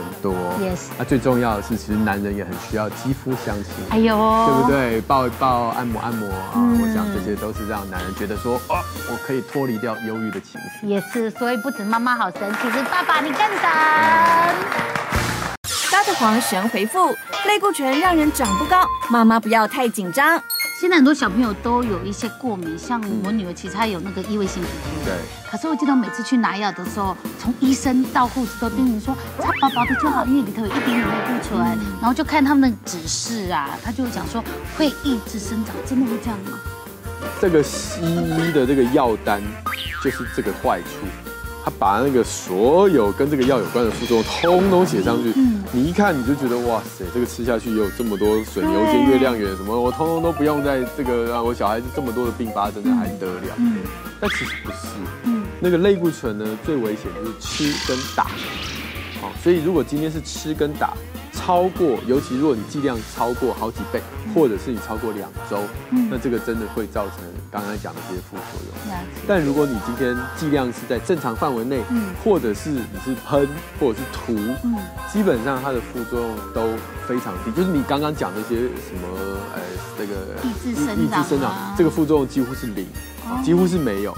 那可是医生还是会跟你说擦宝宝一层，是怕你过量。不过最主要还是要找医师啊，因为他会把所有的剂量调成适合你小朋友的剂量。对。大的狂神回复：宝宝吃到扁头，担心会影响智力。很多可爱的妈妈呢，在我们的粉丝团呢，都会有一些问题。然后今天有个妈妈要问，就是。宝宝的头型如果没有特别照顾，会变成扁头，会不会影响脑部发育？因为他说他女儿是扁头，然后上网找市面上呢卖那些防扁头的枕头啊，有提到扁头会影响美观，还会影响脑部发育，这还蛮可怕的，真的会这样吗？你不要强迫我剃平头给大家看一下吗？哎，你是扁头还是？扁头啊，你摸摸看。哦，哎，其实我也是扁头哎，老师说。我们那一代好像都是扁。对，你们那一代 有不一样代吗？到底会不会啊？真的会影响吗？不会啊，不会吗？其实，真真正因为头型，然后造成说智力或者是发展有异常的是，他头骨本身就有问题哦。比如说像这种船形头，你不觉得这两个头这个是正常的啦？嗯，那这个是有异常，你不觉得它哪里有有问题吗？中间少一条缝啊，这里对不对？对啊，所以这种是骨缝有出问题，过早愈合的。两岁之前，我们其实不建议小孩睡枕头。第一，他也不会睡在上面的，嗯，比如说翻来翻去翻来翻去，对对对对，好。啊，第二，那些枕头搞不好还会增加婴儿窒息的几率。哦，如果你没有好好的挑选的话，所以那还不如我们就让他，呃，这个。睡在一般的床垫上面，那软硬适中。你在他小婴儿的时候，帮他记得左右摆头就好。嗯，而且扁头就扁头，你看男的帅，女的美。自己给自己加注解。大的黄神回复：零用钱怎么给？教孩子钱的意义。黄医师，我们聊了那么多，零用钱要怎么给？然后怎么才是用钱的最好的方法？可是小朋友其实不是你讲了他就会听，到底要怎么沟通？对，所以我自己还是觉得大概要四年级以上。哦，对，那这之前都是好玩，让他有个概念。但是其实四年级以上你才可以，我觉得最重要的是共同讨论你要多少零用钱。嗯，我就印象中，我爸妈那我妈妈那时候，大概每一年或每两年，她就跟我说：“你需要加薪吗？啊，为什么？那你打算怎么花这些东西，或你打算怎么存这这些钱？嗯，那第三个就是我们会设一个上限，比如说学费 总不可能就是这么贵，然后你就给我零用钱。”那万一我今天真的不要看，我就不上学了嘛？哈，所以有一些东西是父母亲掌控的。那这些价这些东西呃是什么？我们先条列。嗯，我觉得这都是讨论的过程。那他通常会这样子，他就是如果看到我长期以来，哎，我们都在维持在我的 budget 里面，是我的这个计这个呃呃预算都很符合，那他就会再问一次，今年要不要加薪？他如果每次都过表，他就不会理我了。其实是很尊重小孩的做法，对不对？对。好了，我来试试看哦。黄神回复教孩子说对不起，然后呢？我们都希望自己的小孩教出来很有礼貌，所以很小就教他说要说请、谢谢、对不起。可是我发现现在兔宝好像学聪明，嗯，他只要一做错他马上就对不起，对，然后就发现他好像觉得讲完这句话事情就解决了，可是好像不应该是这样，对不对？对对，所以其实年纪小的时候也许这样还 OK，嗯，再大一点我们就比如说，哎，等一下，等一下，回来，回来，回来，你为什么说对不起呢？嗯。你是你觉得你伤害到谁了吗？哦，那他的感觉是什么，让你觉得要说对不起？比如说他刚刚打翻东西啊，那个东西是谁谁谁本来要喝的，那他现在没得喝了，所以他就很难过。嗯，然后让他知道哦，原来对不起背后是有一个人的感受受到伤害，我才需要对不起嘛，对不对？那再来呢？你要怎么解决这个问题呢？好啊，你是要再买一杯给他呢，还是要亲自跟他说，我下次如果有我再给你呢，或怎么样？第二个是解决问题。嗯，对啊，第三个呢就是。你可能如果家里有一些家规，这个时候就可以开始用，比如说哦，可能你这个礼拜常常就会减少，那让他能够不只是随便讲一个对不起。大的黄神回复，好油帮你教孩子从小养成好脾气。黄医师，我最近常常跟我女儿对峙，嗯，我现在有一次忍不住跟她讲说，你为什么脾气那么糟？为什么啊？他是吃了什么东西吃错了才脾气那么糟？哦，如果说跟吃有关的话，我们通常就抓两个敌人嘛。嗯，一个就是我最常讲的一些人工添加物，人工添加物，然后比如色素啊，或者是那些香精啊。嗯，那其实还有另外一个就是反式脂肪。嗯，因为过去有很多的研究是告诉我们说，哎，你大脑里面你知道这些神经都是被油包着的。好，所以你今天吃什么油，那个大脑就是储存什么油，嗯，那些神经组织。所以你今天吃烂的这个反式脂肪油，你等于是挤压了让身体吸收好油的这个能力。嗯，那好油要从哪里来呢？哎，各式各样的鱼里面就有啊，omega three 啊，或者是一些好的反式脂肪，什么亚麻仁油啊，或这个很多啦哈，市面上很多这种植物性的油脂。也许也许可以让你的孩子脾气稍微好一点。了解，好啊，那我们现在慢慢开始改了，好不好？不要再跟小孩吵架了，妈妈也很累。嘎的黄神回复：克服打针恐惧，爸妈该如何陪伴孩子？黄医师，今天我们介绍了很多好食物嘛，比方说鹿茸啊，或者是山素等等，就是希望大家吃完啊，免疫力强啊，头好壮壮。可是呢，其实从小到大的成长过程中，呃，还是避免不了生病，或者是真的从小到大过程中，我们一定要打一些预防针。对。可是打针那个把小孩拖进去那个过程呢？哎呦喂呀，救命啊！大家都在看，怎么办呢？打针的时候。其实最害怕打针的小孩，就是那些妈妈常常用打针恐吓他的小孩。哦，所以打针大概我先跟各位分享五要啊，五不要。五要是什么？五要第一个要就是你要事先跟他解释清楚。嗯。你可以告诉给他，可以用绘本，你可以跟他讨论说，哎，其实打针是会痛哦。那到痛是程度到哪里？可能就是捏着捏一捏，或者口手抠一抠。不要骗他说跟蚊子叮一样，这个是假的。不要骗他。嗯。那第二个，我们刚刚说为什么要读绘本，就是因为我们可以从绘本或是一些影片看到学习的榜样，甚至你可以带他去看别人打针，也许他就哦，原来没有很可怕这样子。那第三个就是。不用逼孩子就一次到位，嗯，哦，只要他愿意跟你踏出勇敢的第一步，啊，比如说今天先走进诊间，然后跟医生打个招呼，有的时候甚至你可以先让他熟悉，说哦，熟悉医生护士，然后你就今天不打针也没关系，如果你很有时间的话，其实这样是比较好的哈。第四个，打针的时候妈妈一定要在场，因为妈妈可以让他有安全感，不要说哎呦我就跑掉了，然后就眼不见为净，其实不太好。那第五个是不要跟他说。不害怕了，不要怕，有什么好怕的？我们应该是说，我们一起来找到勇气，了解，一起找到勇气，而不是不要害怕。了解。五个不要就是不要跟你说一定不会痛，骗人的。你不要跟他道歉，说妈妈对不起，你明明没有对不起他，是我害你感冒的。对，明明没有没有，并不是，你是他，你是为他好哈。啊，不要羞辱他。长大一点好不好？几岁了？几岁了哈？不要哈！哎，不要开空头支票。我打完针，我带你这个去买一台车车啊！结果后来你每一次打针都要买一台车车，你做不到哈。嗯。还有第五个是那个前几天不准备好啊，当场才跟他说，那你慢慢等啊，你准备好了再告诉我。当场当下那么可怕的环境，他永远没有准备好的一天呢哈。所以原则上前事前就要准备，不能当天才来心理建设。了解，所以大家记得哦，哈，这个是五要跟五不要。大的黄神回复：孩子才艺撞墙期，爸妈如何即刻救援？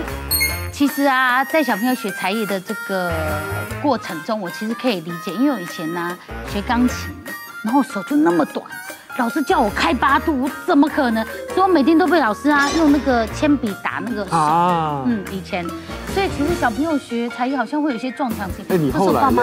后来呢？后来我就学了大概六年之后，还是弹得乱七八糟。我自己家庭也会碰到这种状况，就是小孩哎呦练到一个程度，他就不想每天练琴。嗯。可是你越逼，其实说老实话，你只是把练琴这件事情跟妈妈生气连在一起。对不对？那那怎么快乐的起来？所以逼就一定没有用。那我们可以把我们的目标缩短。嗯，比如说呃，我们的意思就是说，比如说两手没办法，哎，先单手。嗯，或者是把时间缩短。哎，本来半小时没办法，那先变十五分钟。总之把事情变得稍微按部就班，让他有成就感。嗯，哎，我做得到十五分钟，我做得到一只手。嗯，然后哎就结束了。那今天我已经得到了一个里程碑，那我下一个里程碑再往前进。其实小孩都是这样。嗯，那最后的最后，我觉得像音乐这件事，一定要找回他起初为什么要学音乐，就是为了希望他未来可以。陶冶心情嘛，啊，心情不好的时候弹弹琴，让自己快乐。所以带他去听音乐会啊，让他去看看这些快乐的音乐表演，这是免不了的。找回那个有起初的热情。你让我想到我之前看朗朗的书啊，他有说他爸跟他讲说你要练琴，要练得像没有明天一样。对。然后柯一正导演就说都没有明天，干嘛练琴？赶快去玩呢，对不对？我觉得很棒。大不黄神回复：妈妈要注意，不要拿警察吓小孩。黄医师，其实你跟我讲了很多话，我都把它当耳边风。因为比方说，你跟我讲说不能说一二三，不能说警察来了，我想说啊，这个就是我对付小孩最好的方法。可是直到我之前看了一个网络的影片，就是一个小女孩啊，她要去找阿姨，对，然后他其实有点迷路了，就会有一个女警要帮他，但他看到女警就 警察，他就转身就跑走了。我是不是做错什么事了？对啊，所以就变成说，哎，好像真的不可以这样跟小朋友讲。或者是有些丑话，像刚刚丑话警察的，有丑话医生的啊，嗯，只要被妈妈或阿公。阿妈吓过一次之后，他就每次看到穿白袍就一直哭。那其实我没有要害他，我们是想检查一下，我们要对他好。可是他一直觉得穿白色衣服就是坏人，这会增加很多他跟呃正常的这些警察或者是有权威的职业，然后不管是老师、警察、医生，会有一些互动上的惧怕。嗯，这其实对他是很可惜的事情。所以我想我们还是。就事论事，比如说我就很很多妈妈，她对我们医生医护人员就很好，打完针她也会有时候会说恭喜下来，说谢谢。嗯，我觉得哇，这个家庭她就身教就非常好，对不对？就不会下次走丢了，怕警察这种事情发生。啊，我真的很弱，就是说你再忍耐一点，再忍耐一点，然后你打完针就两张贴纸哦。哎不错啦，也算一个方法。对啊。大的黄先回复。发挥创意奖励，不要花钱。其实我每天都在念小孩啊，对，哪一个妈不是这样的？然后有时候我觉得啊，不行，我现在给他一点鼓励。所以当他真的可能有一些些的改进的时候呢，我会觉得哇，那好像应该给你一些鼓励这样子。可是我突然发现，我除了呃给他糖之外呢，我不知道给他什么鼓励。可是现在不能给糖，我该怎么办呢？对，其实奖励有很多种。嗯，我觉得第一个就是你如果认识你的孩子，他喜欢的一个。不管是一个感受，或是喜欢的一个活动，嗯，就是你自己孩子有特殊的癖好，嗯，那你就摸着他的毛去奖励他那个他特别喜欢的东西。我觉得这个是没有标准答案的，每个家长都可以做得到。比方说陪你去吹泡泡，可以去公园玩溜滑梯，可以泡澡，可以让你在里面画画画一小时之类的。了解。那如果说你想暂时想不出来的话，我觉得有一些比较简单的，比如说那公开场合说，我儿子不错。我女儿很好哦，哎，她做了什么什么事情，好贴心。嗯，你在家可能不知道什么样开启这样的话题，但在公开场合，哎，你这样稍微讲一讲，哇，她在旁边听了很高兴。对，这倒是是真的。对，那还有第三个就是，也许你们家有一些平常她该做的家事，嗯，哦，那可以，哇，你最近真的是表现的非常好哈。那今天你当国王，所有的家事都可以免疫。哎呦，那让他当一天这个免除劳的人很开心，类似这样，有的时候发挥一点创意，让你的孩子不用用物质来奖励他，而是用这些拥抱啊、言语啊来奖励他。因为其实心灵上的满足好像比物质更重要。是，嗯。大头黄神回复：跟孩子沟通为何都没效？像我常都很想跟我小孩讲，说我吃过的盐比你吃过的米还要多。但是做了这节目之后，我知道沟通很重要。但是你知道沟通也是有耐心的。你刚刚讲了半天呐，他一直在问你为什么为什么为什么，以及不要不要不要说火也是冒到这里，而且他也火冒到这里，怎么办？其实我觉得那个沟通哈，有很多人都说，哎，你有没有跟你小孩聊天？有，我每天跟他聊一小时，好，很自豪，我是一个好爸爸这样。可是你仔细去问问看。他跟他聊天的只有前面五分钟，小孩在讲话。爸爸，我跟你说，我今天在学校碰到一个同学啊，我我知道我知道。我跟你讲，爸爸以前是这样，哦，我就那个同学欺负我，我就跟他说你怎么怎么。后面一个小时都是爸爸在演讲，嗯，小孩就只有开头开场白讲完之后，就再也没有发表言语的余地了。或者或者是他讲一个，马上被你打枪，说不不不不是这样啊。所以原则上，我们真的要跟孩子沟通，还是我我很喜欢一句圣经的话，叫快快的听。慢慢的说，慢慢的动怒，就慢慢发脾气了。对，所以你一开始小孩，你要让他讲的够，一直讲一讲，你就先忍住。哇，好多话想讲，先忍住。啊，快快的听，先听听听听听听听，然后听到，哎，他大概已经讲的很够了，那你再慢慢的说，啊，不要发脾气。嗯，因为小孩刚刚已经讲了很多政治不正确的语言。对，不要发脾气，然后你跟他用你的心里的话，尽量少用你，用我们啊。就尽量用这种说话是，我们怎么样？我们怎么样？啊，不是你你你你你啊，我我我我我，那这样的话，孩子就会在这段沟通的当中，他也讲够了，他也被同理了，他就可能比较能够接受你给他的一些建议。哇，好爸爸，有没有觉得后面在发光？大的黄神回复：拉萨加拉萨多，妈妈不要想太多。两位神。有没有听过拉萨加拉萨不？嗯啊，其实我们现在也听过很多说法，比方说东西掉了，人家说哦三秒捡起来没问题，五秒捡起来没问题，他们说细菌不会粘上去，最新的是九秒，所以九秒之内细菌不会爬上去，这是真的吗？这样可以吃吗？呃，我我想不能够用时间来计算来评估了哈，其实主要要看那样子的地面干不干净，物体是什么。嗯，好，举例来说，如果你咬着一一个吐司面包进外面的公共厕所，地上是湿的。好会形容哦！你掉到地上了，就算一秒钟，你也不应该把它捡起来吃啦。是是是。那如果你在家里面呢，你的孩子呢乱吃乱玩、看电视不乖，掉到地上，我都会跟他说：“你给我乖乖的捡起来，把它吃光。”哦。因为你家里面的地板应该是干的，而且应该也不会太脏。嗯。所以通常，例如说，就算一片湿湿的西瓜掉在地上了。我还是觉得说捡起来吃其实还算安全哦，我还是这样觉得吗？真的啊，有时候就是两件事，第一个你那个掉地上的食物是湿的还是干的？嗯，湿的话上下去上来一秒就一堆细菌就上来嘛。哦，干的就比较慢。嗯，第二就是那个地板上面会不会有致病菌？嗯，请记得是致病菌。嗯，像刚刚慕容医师讲的很好，厕所 开什么玩笑？那致病菌一定很多嘛，嗯，一秒都不能碰。嗯，外面的餐厅我也会稍微小心小心。一点，自己家。真的就是，我想掉在地上叫小朋友捡起来没有关系，我们家没有外人，目前家里没有人生病，嗯，你是可以吃的。哎呦，嗯，他们口径一致哦。大的 黄旋回复，孩子哭到没呼吸，爸妈请你冷处理。两位小儿科医师的神，想请问一下，之前二宝有一些状况，就是他哭一哭哭一哭，然后突然没声音，我想说，哇塞，我发达了，他就不哭了，就发现他不是，他是突然停住，然后脸就涨红，大概过了五六秒之后才，呀，我发现他是停止呼吸，耶，怎么会这样子？对，有些孩子哈，的确会在这个自律神经还没有成熟的时候呢，会出现说他在这个心情不好，甚至得不到他想要的东西的时候。开始大哭大闹，然后就瞬间停住了。嗯，那这个时候呢，其实你会看到他脸慢慢涨红，慢慢涨红，慢慢涨红，然后你就觉得他好像就没有呼吸了。实际上也不用太担心，再过一阵子，他就会自己把那个空气吐出来，再呼吸回去了。哦，这个可能是一个叫做屏息症的，嗯，就是屏住呼吸。哦。但这是 OK 的，对不对？对，我们没有碰过真的丙级症搞到大脑有缺氧，除非有人在旁边又弄这个又弄那个什么压舌板、汤匙，搞了半天，就害小孩那一口气没有好好喘。不然的话，大部分他是不会有对大脑有影响的。了解。丙级症最大的问题都不是在小 baby，是长大，因为爸爸妈妈怕以后对他就会予取予求，嗯，所以这个小孩子就会变成我只要 你就会东西就会给我，所以我们要知道。他虽然有丙级症，只要你心里知道这个对他身体不会有影响，在教养上我们还是温柔，但是还是坚定啊，不要让他被这种以后的这种哭泣来绑架爸爸妈妈的情绪。温柔而坚定，好会讲哦，两位神哈。搭的狂神回复：肚脐黑黑别乱抠，小心感染很麻烦。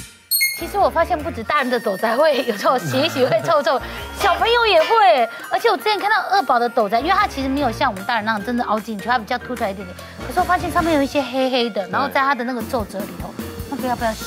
其实你的肚脐只要没有发红，不管是里面发红，外面外面发红就更严重了。然后外面没有发红，里面没有发红，那个黑黑的就不要管它。你去弄它，反而会增加里面皮肤的这个啊破坏，然后有可能本来不弄还好，一弄就细菌就跑进去。哦，所以原则上我们就不要动它，哦，然后就清水冲一冲。哦，那如果这比较大的孩子，他可能真的有点味道，我们想帮他清的话，就是忍不住，忍不住。对，真的。那就是我刚刚讲的原则，不要让他受伤。好，好啊，不要让他受伤，你可以用婴儿油啊，或者说那个乳液啊，就把他的皮肤先弄。润滑之后，嗯，用这个棉花棒轻轻的把它清清。我想这是我最最基本的要求，就不要把它弄受伤就对。了解。那小 baby 就不一样了，小 baby 如果是刚出生婴儿，他那个味道很重，然后甚至有尿骚味，不要找医生，表示他真的是有一些先天性的问题。哦，了解。大狂神回复：小孩拉肚子，电解水可以 DIY。黄医师之前呢，兔宝发烧的时候，其实都会带去看医生嘛。然后就是，其实他们都会介绍一个东西，就是很像矿泉水，可他说是电解水，然后有点颜色。他说小朋友喝那个就很快恢复体力。哎，一罐有六十块，有必要吗？就只有一些比较老神在妈妈说，哎呦，被农会挤去买那个运动饮料，然后多加一点水给他喝就好了，OK 吗？其实呢，拉肚子最重要的。就是补充水分，嗯，很多妈妈就说，哎，我小孩拉肚子是不是要禁食？我说不行不行，你反正呢，上面吃，下面拉，上面喝，下面拉，你就不会脱水，嗯，所以在这个前提之下，其实补充任何水分，理论上都对的，但是在这些水分里面还是有比较好的，比如说。里面如果含有这种像你刚刚说运动饮料，运动饮料它的那个渗透压哈，那糖分太高，嗯，所以有的时候你你这个喝进去之后，它小肠蠕动会更快，嗯，那就下面就更拉。当然我刚刚说下面再拉，你就上面再喝嘛，嗯，但是何必要让小孩做这种痛苦呢？所以原则上含糖的饮料是不行。在没有含糖的状况下，哪一种饮品最好呢？就是里面。它的那个成分里面要有某一个浓度的葡萄糖跟某个浓度的钠离子两个嘣加在一起，黄金组合那是最好的。哦，所以那电解水贵是贵在这儿。哦，啊，我得帮你配好了这样子哈。啊，但是啊，如果要为了省钱的话，也是可以，你就用米汤有没有稀饭汤、暗汤？自制哈。对对对，然后再加一一点点盐巴，大概就是一碗呃一碗加半茶匙，一点点。嗯，好，那这样的话也是可以让你孩子补充水分，而且甚至可以减少腹泻的状况。哎呦，学到了自制电解水。对对。大的黄神回复。鼓励孩子问问题，却挑战父母权威。还是刚刚有聊到，就是小朋友一直问为什么为什么，其实有时候是挑战父母的权威。对。可是又有一派叫我们说，我们就是要挑战权威，我们就是要勇敢问为什么，嗯，怎么办？界限怎么划分？其实小孩如果可能挑战权威，至少你心里面不要有被害妄想症，就是知道说，哦，好，我的小孩这个个性还不错，至少他以后不会被人家欺，不会不会被被欺负了。嗯。我觉得人家一直这个弄他，然后他都不 不抗拒啊。我想至少你要往这个方向想。嗯。那再来就是说，今天小孩子要挑战你权威，那你可以跟他再重新讨论一下，界定一下，你为什么觉得这件事情是可以你决定呢？哦，我们可以讨论啊，搞不好他真的长大了，那我们今天就重新再界定规矩。哦，你今天觉得说睡觉的这个啊太早时间，对你想要改变，那你觉得几点比较合适？好，我们可以释放一点点。他说，那我要十点不行。嗯，那这个我们你只能在九点十五跟八点四十五之间，你自己选一个。哎，那其实这个范围内你是可以控制的。嗯，但是他就可以感觉好像在这个睡觉的时间上，他可以做一点点主。重新界定一下权力的范围啊，那不要有情绪性字眼，就是点点啦，闭嘴然后我刚刚说我们要正向的思考。那如果说今天你已经给他了一个啊，试出一个利多，我们重新让他有一点自主的权利，可是他还是一直予取予求，一直要想得寸进尺，这时候你就真的可以不理他了。哦，你就说家规已经定了，那如果你想你想要遵守，我们全家一起遵守。嗯，那如果你不想遵守的话，也没有办法，你现在住在我们家，那这件事情倒是可以用情绪凝结的技巧，让这个讨论到此为止。哎呀，就这样。嗯，没错，还没讨论就这样啊。高的黄神回复：烟害毒素改变基因，祸及三代子孙。怀师，嗯，你有听过富不过三代吗？有。那你有没有听过抽烟会祸及三代？嗯，有。你是听我演讲听到的吗？是真的还是假的啦？你们都很容易像夸大其词。那你你看，如果今天你知道抽烟它有毒素嘛？哈，因为你这个吸到这个燃呃燃烧的物品，然后会有毒素，嗯毒素会跑到血液里面啊。好，所以如果今天好，不管妈妈怀孕的时候她自己抽或者是二手烟，那这个烟就会毒素跑到胎儿嘛。好。啊，你知道胎儿这个基因过敏基因就会被这些毒素都打开，所以这个小孩出生以后过敏基因就会比人家高。但是还不止哦，因为你如果怀的是女宝宝，嗯，女宝宝在肚妈妈肚子里胎儿时期，她的卵子就成熟了。真的还假的？才那么小？真的真的，所以那个毒素呢，不止把胎儿的过敏基因打开，也把胎儿的卵子的所以这个女儿出生后长大成人，结婚再生的小孩之后，她的小孩过敏基因都会比人家高。一下下的真好，真的很夸张哎，所以你才知道为什么这一代的这个过敏会突然之间暴增，其实因为这些空气污染造成的这些毒害的呃对过敏的影响是倍数的增加。你有过敏吗？我有。那你可以现在打电话问你外婆是不是？外公是不是？所以换句话说，我们对自己跟对环境都要好一点点，他们也会对我们好一点。对，外面的空气要顾好，都要靠政府啊；自己的空气要顾好，就是你们家里不要有人。哎呀，惊惊。大的黄神回复：乳真的能拯救蛀牙吗？我是一个算认真的妈妈，我有做功课，我知道乳牙很重要，因为它如果没有长好的话，会影响到永久。对你不能放着它烂，然后想说没关系，这以后用不到，不是这样。可是现在乳牙已经有蛀牙了，那我现在吃佛来得及吗？其实佛不能治疗蛀牙啊，不然呢？预防啊，治疗要找儿童牙科医师处理，要预那是预防哦。哎，所以预防除了佛，还有那个什么沟系丰田嘛，现在都有补助。对，那佛的话大概有三种预防的模式，第一个也是免费的，就是涂佛。是。第二个呢，就是你刚刚讲的，就是吃佛定。那基本上吃佛定是打底子。它是保护那个还没有长出来的牙齿，好啊。第三个呢，就是用韩国的牙膏刷牙，但是那个牙膏，因为你知道吗？三岁以下小孩有时候就吞下去了，对，所以只能用一点点，多一点点，对，就跟一颗一粒米一样的大小，就一点点就好了。但问题是我有时候会这样给他涂，像说。当然，他如果卡退都退掉就没有关系。那吃下去怎么办？吃下去，然后你又吃佛定又涂佛，那这样可能 就会有点太多了。所以原则上就是我们不要让我们孩子有暴露在这个佛中毒的危险。所以一点点米粒大的这个牙膏，再加上涂佛，再加上这个吃佛定，其实这样三个加起来的量都不会对身体造成危害。了解。那到底什么时候我们小朋友应该刷牙？是真的早晚吗？还是三餐吃完都一定要刷？最重要最重要就是睡前那一次。因为到你晚上这么长一段时间，口水会变干，那个时候蛀牙菌最开心，所以睡前那一次一定要每一颗牙齿甚至牙水那个牙线都要使用。好看完节目喽，赶快去刷牙。大的黄神回复：每日喝水三公升就能年轻十岁。王医师，嗯，你知道英国有一个妇人，她四十二岁，然后之前就有一些状况，然后让自己不舒服，叫她去看医生。医生说叫她每天吃三千，喝三千 CC 的水。嗯，喝完之后，她发现很多头痛的症状那些都没有。重点是她大概年轻十岁。如果她以前都不喝水，然后都很干，那这个时候喝喝水，然后气色比较好，我相信是有可能。是啊，但是年轻十岁，更何况你今天你刚刚说几 CC？三千。三千哦，三千。有一些，如果肾脏本身有一点点已经进入到这个肾功能有病开始退化，你喝三千你会会水肿，而且甚至会水中毒的。大陆有一个太太就是每天喝很多喝很多水，嗯，后来她肾脏本来就已经快不行了，所以这样一水下去之后，她后来就血尿，然后有很多其他一些肾脏的问题。对，所以喝水就是刚刚好就好。那如果你今天呃肾脏有问题，要提早让医生。知道，然后医生会替你做一个比较好的饮食的安排。啊，我还想说喝水变年轻十岁，下次来你就看到嘉欣跟女主持了。啊，二十三岁。大的黄神回复：乖小孩 vs 调皮小孩，谁比较聪明？黄医师，之前拓宝小时候就很喜欢跳来跳去，跳来跳去，我真的就白眼翻到楼上去这样子。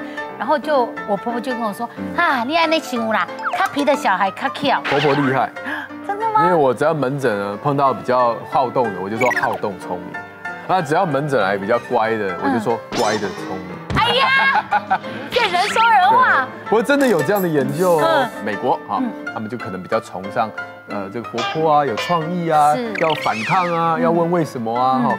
那另外一个是南太平洋的国家，就包括一些亚洲的国家，他们就是希望就是听话啊，哈，乖巧啊，哈，所以他们给他设计呃一个活动，让他们去完成任务。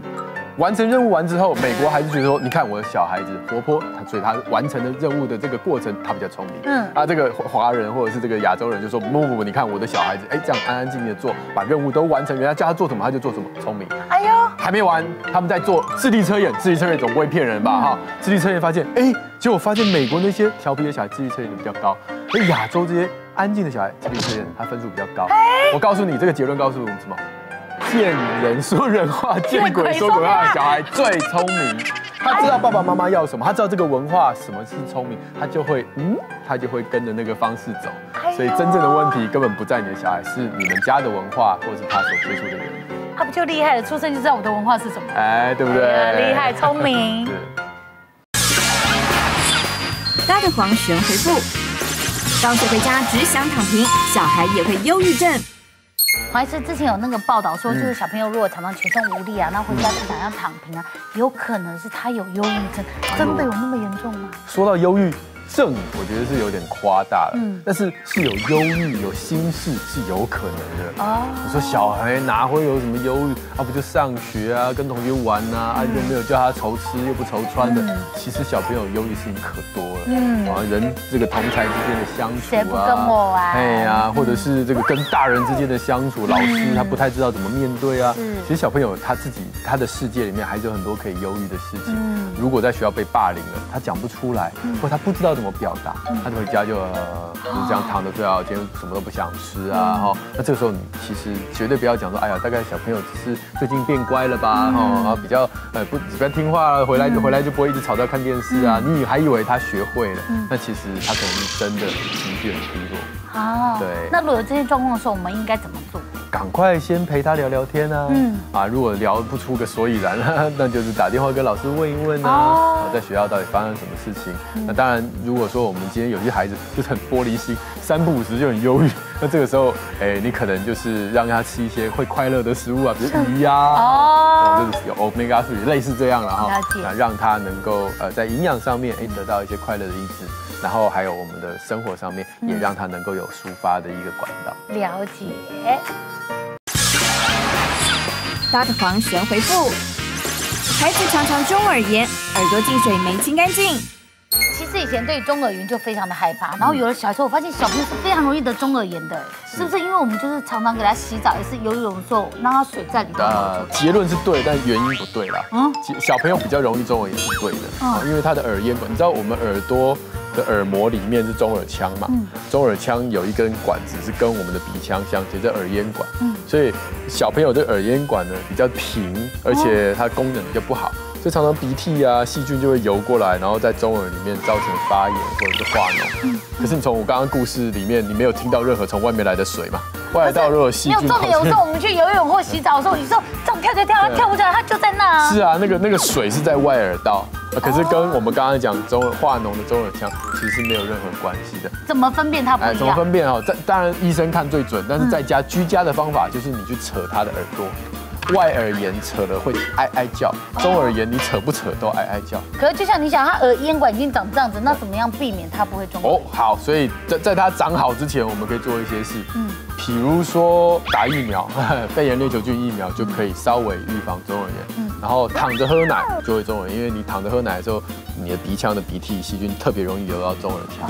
还有一个啊，家里有人抽烟，这最不好。因为你的耳咽管，因为那个烟害，它的排排脓的速度就变慢。总而言之呢，有很多很多因素会造成中耳炎。一次用抗生素把它治疗完之后，你一定要想，我要有做什么改变来预防下一次的发生。那你会不会建议小朋友在几岁之前，就是不要让他接触太多人，可能先不要到幼儿园或什么之类的？我是有，我是认为三岁。哦，对，让他发育的比较 OK 之后，再去那里对抗其他的病毒，接受其他的好朋友。是，了解。搭的黄神回复：小孩长疹子好心疼，母乳是神药。黄医生，我记得我那时候在月子中心的时候，就是有时候小朋友来说，我来不及清洗我的那个要喂他的地方这样子，然后那个护士跟我讲说，没关系，因为母奶它天生有抗菌的能力，所以就有很多人就会跟我讲说，如果真的有不小心的发炎还是干嘛，敷母乳是有用的，这是真的还是假的？这是有一点点过度的夸大母奶的效果啊。我觉得母奶大概本身它有很多的好处，但恐怕没有神到说你只要擦的地方就不会感染了，就不会发炎了哈。其中一个就是那个土，好像有一个土耳其的研究啊，他就说啊，把母奶涂在宝宝的脐带，它比较快掉之类的。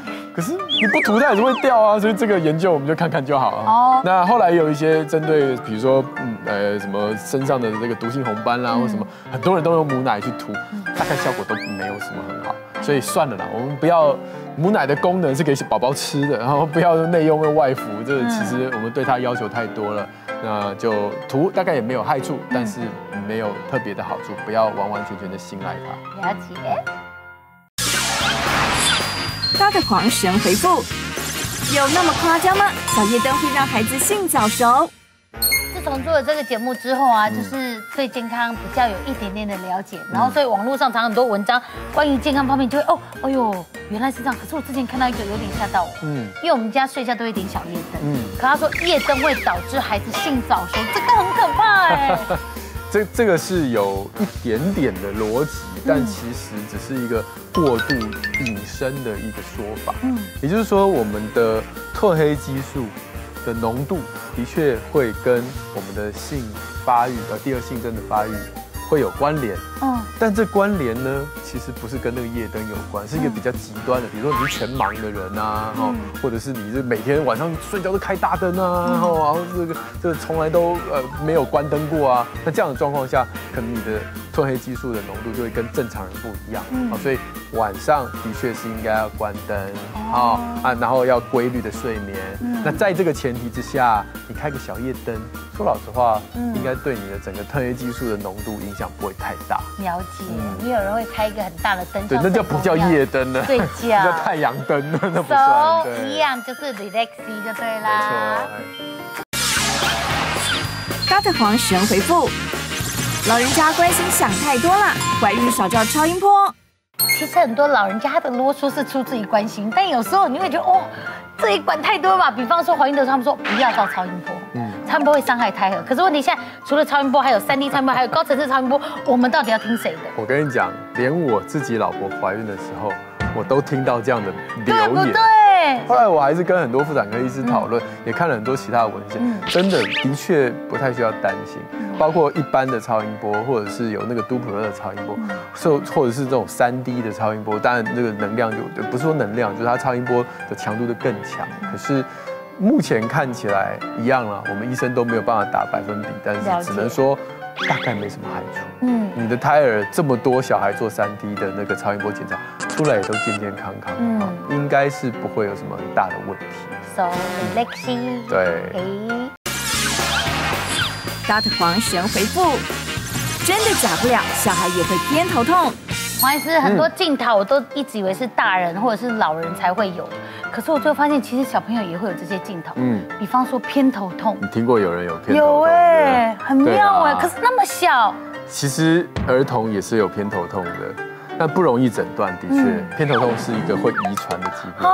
对，我会问小朋友说，是不是那个痛是这样，痛一下，痛一下。痛一下，好像打拍子吗？好像打鼓吗？哦，因为它会有节律性。应该说丢丢对对对对对对，好啊。第二个就是那用那个跑步完或运动完或者是上厕所用力的时候，会不会特别痛？哈，那第二个就很像。那第三个，如果说听到声音或看到闪光会更痛。那第四个就是这些偏头痛有可能会伴随一些恶心啊，或者是呕吐啊，或肚子痛啊。啊，重点就是睡饱，醒来就好了。好，这个是最重要。那个睡到一半痛醒的，就就是要危险啊。可是，一直发作，有时候妈妈会很困扰，所以有时候我会抓一些呃生活上的作息，比如说你睡眠常常睡眠不足，或者很不规律，或睡太久。也会诱发，所以你就是大概每天规律的几点睡几点起来这样子，然后多喝水啊，然后有的时候你脱水就会偏头痛，啊，还有不要常常骂他，一直念他，压力很大，压力其实也是偏头痛诱发哈。那其实有一些食人是食物诱发的，嗯，那不好抓每个人都不一样啊。最有名就是什么 cheese 啊，cheese 啊，什么腌制的食品啊，巧克力，这是最常见的零食啊，嗯，哦，这些是比较常见的。那如果真的这样子的话，我可不可以给他吃一点点的？可以。小朋友其实是可以吃止痛药的，但止痛药就解决现在的疼痛。那如果是预防它复发，那就是要解决根本的问题。真的偏头痛好痛。大的黄神回复：掌握休眠时间，让玩疯的小孩冷静。小朋友真的很容易玩疯掉，就是疯掉。你本来想说好，那我就要发挥他的所有的精力，就让他好好的玩，就发现他无止境哎，像黑洞一样就疯掉，然后控制不住。这时候我们该怎么办？首先哦，我们要对孩子要有了解。嗯，一个孩子，尤其是那种学龄前的，他大概注意力大概就是四个小时。嗯，从他睡醒，然后到四个小时后，基本上他就开始进入一种休眠状态。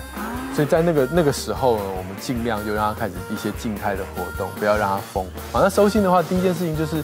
先问个问题，嗯，比如说，哎，我们待会要去吃饭，你想吃哪一家？先让他从游戏当中转移注意力，不然说，哎，过来过来，他都不来嘛，哈，好，先问他一个他有兴趣的问题，先让他转移注意力，好，然后给他一点安慰，然后比如说给他一点拥抱啊，或者给他喝个水啊，哈，然后就跟他讲说，我们待会要结束游戏，先预告，哦，先预告，好啊，再几分钟，或者是我们这边有一个什么叮的时候，你就我们就结束。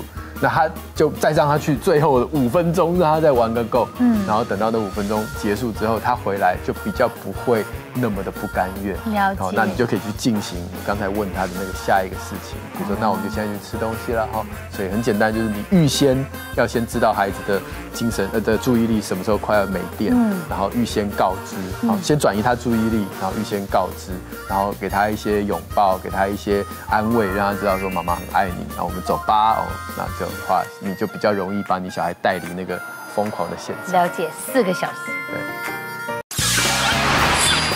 高的黄神回复：健康有趣的心安，黄医师私房零食推荐。黄医师今天讲了那么多零食的地雷，有没有什么是你的私房名单？它很好的。呀，呃，是自己做还是最好了哈？但是我们今天你要问我的是要用花花钱买的吗？哈，你没空吗？对。水果干，我想是我第一个会会找的哦，而且冷冻干燥，而且对对对冷冻，然后那个爆米花，爆米花。西式的还是？西式、中式都好，但是西式的话就是不要有加很多糖啊，很咸的奶油那些。对对对，我知道有点困难，反正还是找得到。嗯，那 中式的话就蹦完之后，然后嘞，它不是有焦糖吗？我就等等等等等等等等，我老板我就是要那个没有焦糖这样。所以你要在蹦之前，你要在旁边先等啊，不然很快啊，动作很快。因为他要赶快。对对对对，好，就是跟他讲说我要那个，那叫一整包很大包哦，那小朋友可以吃很久，但其。实都没有什么味道，啊，有时候我会加一点点盐巴，因为没有糖，哦，加一点点盐巴这样子。还有那个路边的那个玉米啊，嗯，玉米应该也 OK。哦，还有关东煮有人是对那个汤有疑虑啦，所以我想我们不要喝那个汤。那关东煮里面如果有一些健康的，也是一样，玉米啊，或者是萝卜啊，我想这些东西应该是买得到，然后让我们小孩偶尔可以止止饥的点心跟零食。哎呦，黄医师的私房名单，那我赶快去等那个宝，快点。加的黄神回复：你不止伤脑，还让妈妈得乳癌。黄医师刚刚讲到这个铝对小朋友的脑很不好，但是有听说铝对女生也很不好，说什么会让女生得乳癌，是不是？呀，好像我有在新闻看到类似这种，然后这是一个非常不正式的研究的结果了哈。不过铝对健康的危害这件事情，我觉得要打一个大问号，大家要稍微不要那么的冲动，嗯，因为其实当年哦，铝跟我们大脑健康危害的这个研究，三十年前，那其后来证明是一场误会。真的，真的真的，他就是一个医生，然后他的病人有阿兹海默，就是老年痴呆了哈。那他们就把他的大脑解剖嘛哈，然后就想找出病因，然后最后说哇，他们铝含量特别高，从此以后大家都觉得吃铝就会的这个老年痴呆这样。对。那过了好几年，就大家都奇怪啊，我的病人怎么都没有高，就只有你的病人高了，因为每个人都无法复制嘛。嗯。后来他那个第一个医生也很认真回去查，就发现原来他们的标本放在一个铝盒里面。哦 真的还假的？所以那个铝是盒子的铝，不是大脑里面的铝。误会。你看这个误会一传就传了三十年了，你知道吗？真的。对，那到底铝对我们身体健康危害有什么？至少没有大家想的那么严重。但是我们也至少我们身体平常不应该摄取到这些金属嘛？哈，所以。虽然不知道吃进去之后哪里去了啊，我们都知道九成九都从大便排掉了，所以大部分不会吸收。嗯，那如果真的有吸收到哪里去？虽然我们不太清楚啊，也可能在肾脏在排掉，但是毕竟给我们身体很大的负担哦，我们还是注意一下，至少不要吃到这些金属是比较好的。但是不会说吃了就脑炎痴呆，我想这倒是呃不需要这么担心。所以大家放轻松，便当盒不要用铝的哦，记得。是啦。大的黄神回复。给小孩玩食物能帮他促进食欲。我其实很羡慕有些妈妈是可以让小朋友乖乖坐在餐桌上，然后就说三十分钟要吃完。嗯。可是啊，其实我常遇到很多状况，就是小朋友拿着食物，然后这样呃不嗨嗨嗨嗨，然后跑过来跑过去，然后爬上爬下，这个 OK 吗？其实大部分的专家现在都会说，小朋友在一开始吃食物的时候让他玩嘛，对不对？好，那这个让他先熟悉食物之后，那将来他比较不会讨厌。跟着大家一起吃饭，嗯，专家都这样讲，很很多妈妈没有办法忍受那个过程，嗯，就是好了，我让你玩，不不不不不是这样玩，对，你可以拿起来玩，那不可以甩，而不可以不可以，而且弄得地上全部都是，对对对，就是妈妈爸爸妈妈有几件，你因为你要打扫嘛，所以你看到他玩书玩到那个界限过头的时候，你就哦不要不要听专家的话，我要一口一口喂，这样比较干净嘛哈。不过有一个研究，看看这些小朋友三到四岁的小孩。在吃饭之前，哎，先把这些东西玩一玩哦，比如说他把这个鸡腿啊上面戳两个眼睛啊，类似这样的动作。那在这个玩的过程当中，就发现这些孩子后来的进食量是比较高的，也就是他借由玩来熟悉这些食物，或者是对这些食物产生感情。好，那如果你希望你的孩子吃水果、吃青菜，你其实当他在吃水果、吃青菜之前，在那边搓搓捏捏的时候，他就在建立感情。那之后他可能吃的量就会比不玩的那个对照组的孩子还要再多一些。哎呀，这样说起来，我小时候跟食物建立很多感情。啊，是你一定玩的很凶吧？大的黄神回复：逗小孩不要玩过火，小心影响人际关系。还是其实他爸爸妈妈都很爱逗小孩，尤其是爸爸。对。像有个朋友，他就是啊，跟他小孩玩阴湿的，玩玩有没有？啊，玩一玩，玩到最后他就自己演抽戏，演到最后小孩真的当真的就吓死了，想说怎么会这样子？可是这样 OK 吗？其实是跟他玩，但是最后吓到小孩。哎，好像爸爸在逗小孩的那个界限哈，分寸。呃，我我我用心理学的角度来讲，为什么有爸爸照顾的小孩，大家会觉得说，哎，他未来心智发展比较好？嗯，其实就是因为爸爸在跟小孩玩的时候，那个分。寸拿捏哦，如果抓得好的话，这个小孩子将来跟人家人际关系，他会拉的比较比较这个界限拉的比较好。比如说他跟同学打闹的时候，他知道 OK，如果我先戳你眼睛，这个这个是已经跨过这个线，不 OK。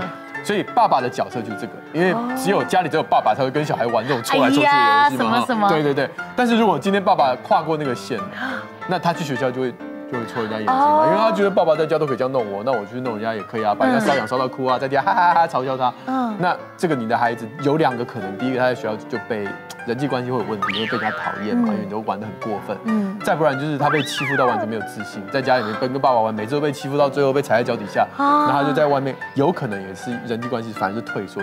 所以爸爸站的角色很重要，但是爸爸站的角色的时候，你必须跟他玩斗的时候不要过头，分寸拿捏好。的狂神回复：躲起来抽烟也没用，三手烟更毒。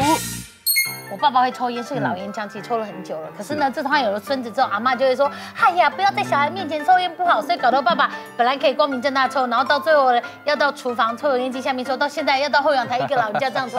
其实我妈妈说这样也不可以。你们小时候他在你面前抽，对，在我面前抽。然后有孙子之后越抽越远。哦，所以你小时候你吸到叫做二手烟，是。那他抽的是一手烟，对。啊，现在呢，他不在家里抽了，所以你的小孩闻不到。可是很多人就是这样子，就是他平常小孩不在的时候，他想说，终于小孩不在了，总算可以在家抽一抽。可是那个就是墙壁上都会粘，沙发上也会粘，地板上也会粘，所以等到小孩回来的时候，他们还是会吸到，这叫三手烟。还有三手烟，一手、一手、二手、三手。他不要小看三手烟哦，因为小朋友，尤其小孩，大人我们就不管了。但是小孩，因为他的皮细皮嫩肉。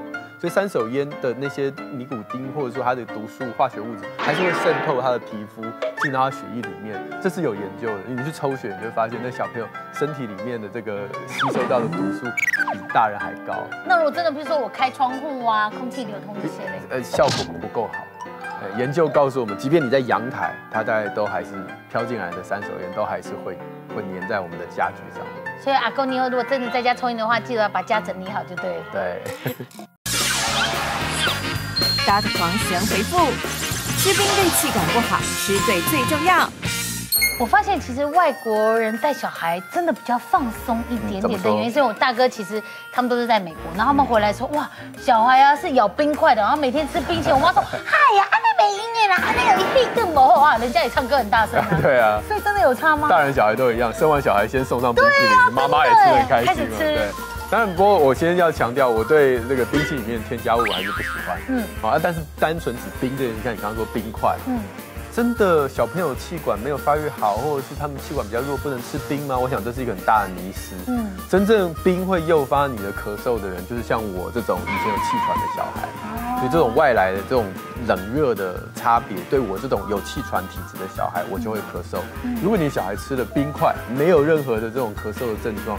就表示你没有这个体质啊，那你为什么要限制你小孩？它就是水嘛，嗯，进到身体里，你说哎呦这样身体会冷啊？我跟你讲，那你的胃就跟你的体温一样嘛，三十七度。你今天拿一个三十七度的水放在桌上，把冰块丢进去，你看多久融化？哦，瞬间就融化了。所以你的宝，你的孩子吃了冰块到胃里面，马上就融化掉了。啊，如果真的要给他们吃冰的话，怎么吃最好？怎么吃最好？对，那就是吃单纯的，呃，不要有添加物的冰品。好，比如说你今天给他喝个冰水，然后加一个，比如说有现在外面有这种气泡的机，然后把那个水打成气泡的水，然后加个冰块，哎，这个完全不会有害处。对，但如果你又加一个色素，又加这个添加物，哦，外面的饮料恐怕就不适合。了解。大的黄神回复：孩子又过敏了，冷气也是凶手。黄医师胖子很怕热。所以我们家前阵子开始开冷气，对。可是开冷气之后，我发现其实进进出出、热热的人很容易感冒。那你就觉得这到底是感冒还是过敏？因为小朋友这个样子。可是就发现好像是冷气。也会有一点点问题。那冷气一整个冬天都没有开，对，里面其实发霉很严重。那妈妈可能说有有，我有洗滤网啊。对呀，滤网只是冷气发霉的地位置之一而已。嗯，管线也会发霉啊，这个风道也会发霉啊。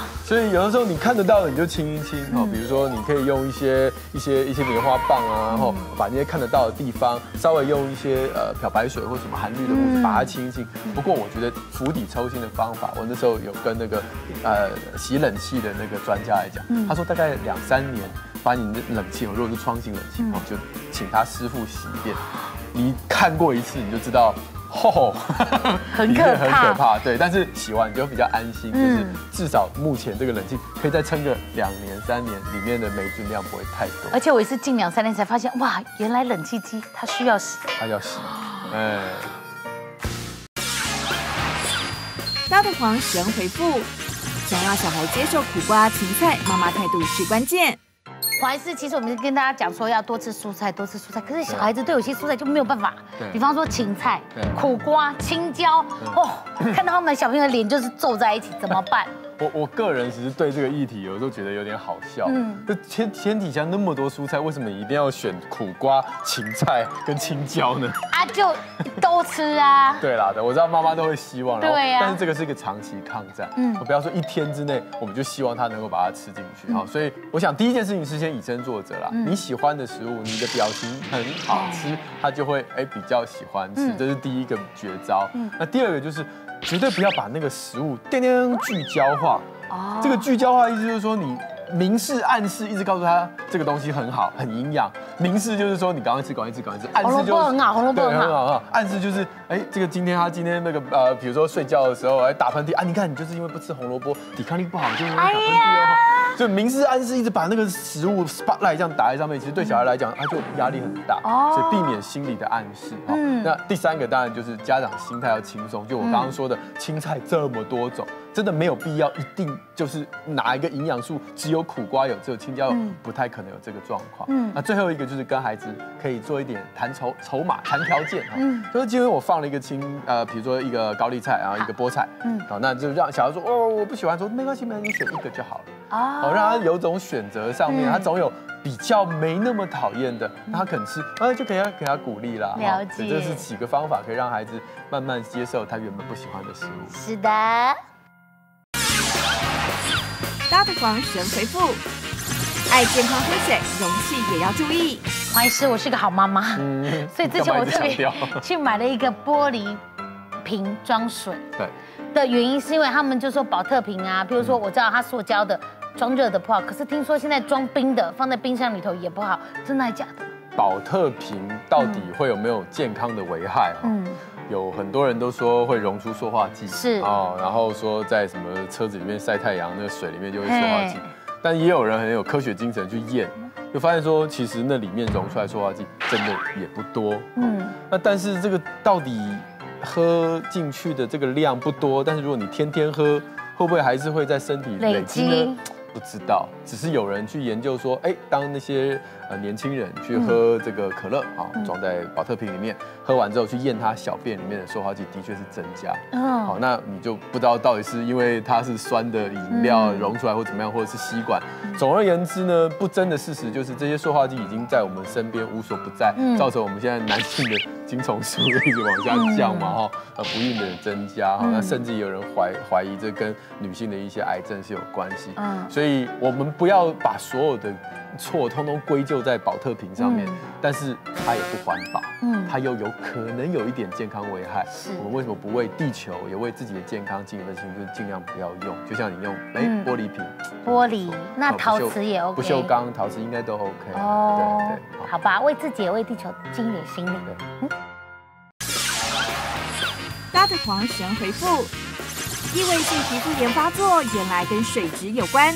刚才节目一直在讨论的硬水跟软水，嗯，其实我还是要强调怎么分呐？哦，界限在哪里？好像就是它有一个数值，大概是一百以内，就是矿物质的含量比较少的，就是软水。哎，我有碰过，呃，然后一百以上就硬水嘛。然后我有真的用过那个很软很软，就是完全没有矿物质的水洗澡，会怎样？很滑。真的还假的？为什么肥皂都洗不掉？因为它里面没有矿物质，所以没有办法跟肥皂的那个呃那个钙呃叫皂化，然后把它带水带不了它嘛。就觉得我怎么是肥皂一直洗不干净，还还蛮好玩的。但是我唯一还是觉得喝硬水没有什么不好。嗯，很多人都很啊听到硬水就觉得它是坏东西。其实也也有一些专家还甚至觉得喝硬水还不健康。哎，对，有些人这样觉得。嗯，但是我觉得硬水跟健康唯一的危害，大概能够扯上关系。洗澡的时候，如果你是异位性皮肤炎的小孩，喝呃用硬水洗澡会。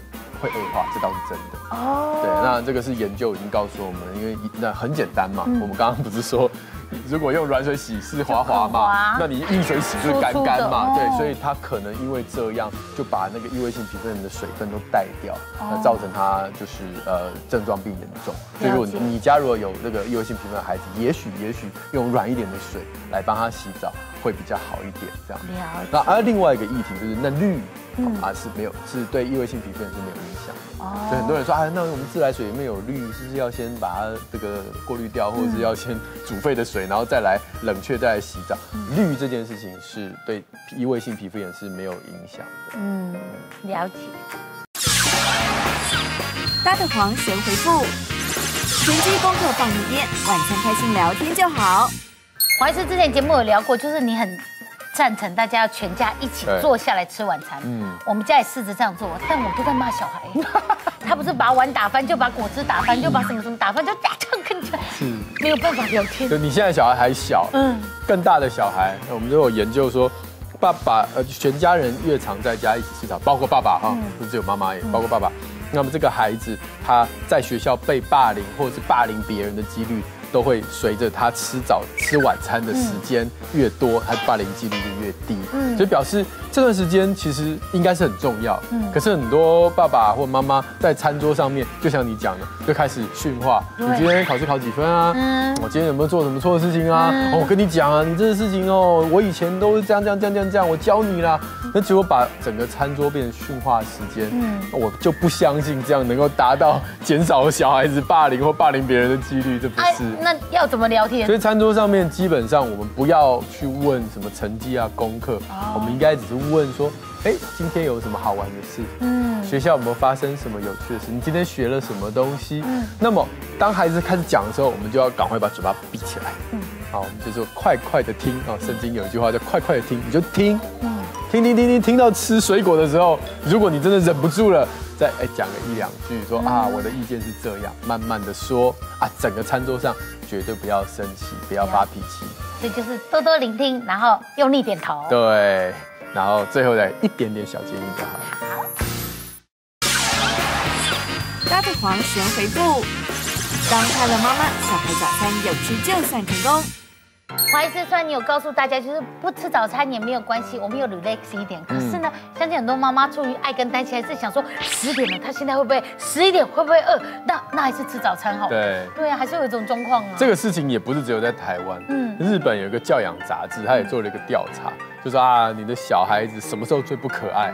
后来发现最容易吵架的时间，就是跟台湾一样，早上起床到出门上学中间。因为很多事要解决。对对，所以我觉得，既然这个是普世的问题，也不是只有台湾的妈妈，那表示其实妈妈有的时候不只是说心情要放轻松，也是把自己，呃，怎么讲，不要把你的快乐建筑在成果上。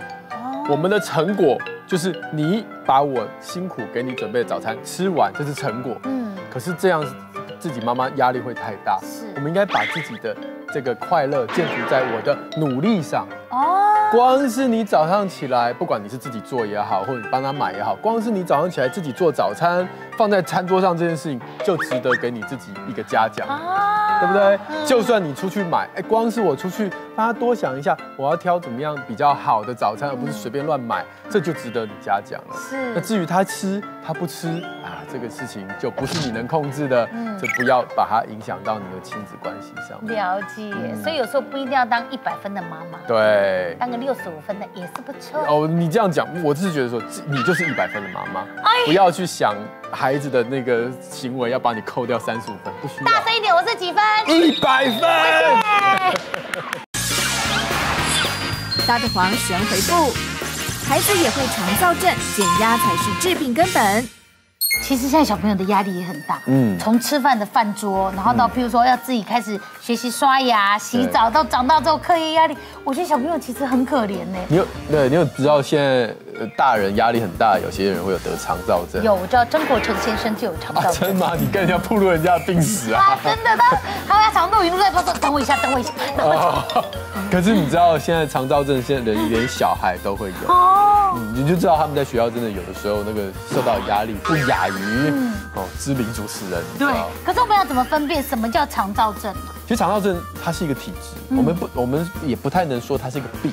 它就是说我今天身体只要有一些压力的存在，我的肠胃的这种自主神经就会乱掉。嗯，那我有可能是以便秘作为表现，也有可能是以腹泻作为表现，也有些人就是腹痛。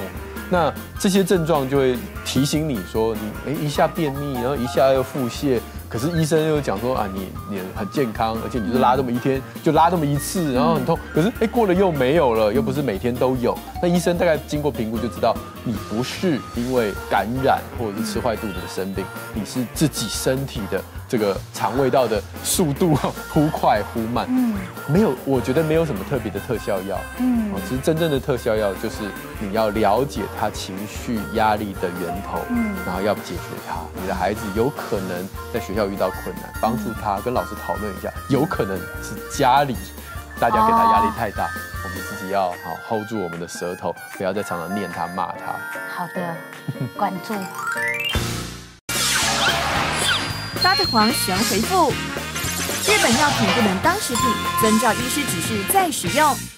还是我觉得现在国人旅游的那个习惯改变。比方说到日本，我们以前都是哦买衣服啊、买零食啊、买一些那些时尚的东西、化妆品。现在到日本都是买药哎，我真的是到药妆店逛到疯掉。而且呢，以前都觉得送药给人家很不好，现在是从日本来说哦，这个止痒药送给你，这个头痛药送给你，这个什么表差明送给你，这个哇什么什么送给你。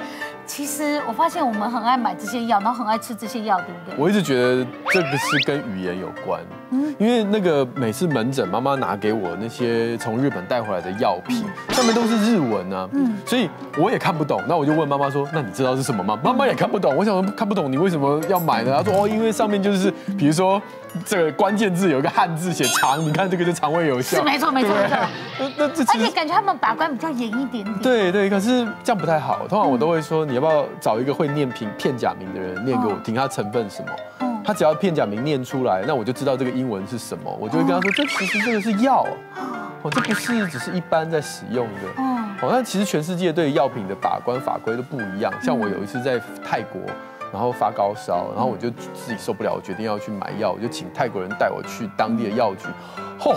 他们全部都是原厂原装的药，比我们台湾卖的药都更好。那么厉害？对，那你说你去泰国那边，然后买了药回来，不是很瞎吗？嗯。但是还好，因为上面都写英文嘛，所以你一看就知道，哦，这个不能这样随便乱带啦。真的。对，所以我觉得去日本买药，你要有同样的概念。虽然上面写的都是日文，嗯，但它有可能是药，你一定要让医生看过或翻成 英文，让医生知道。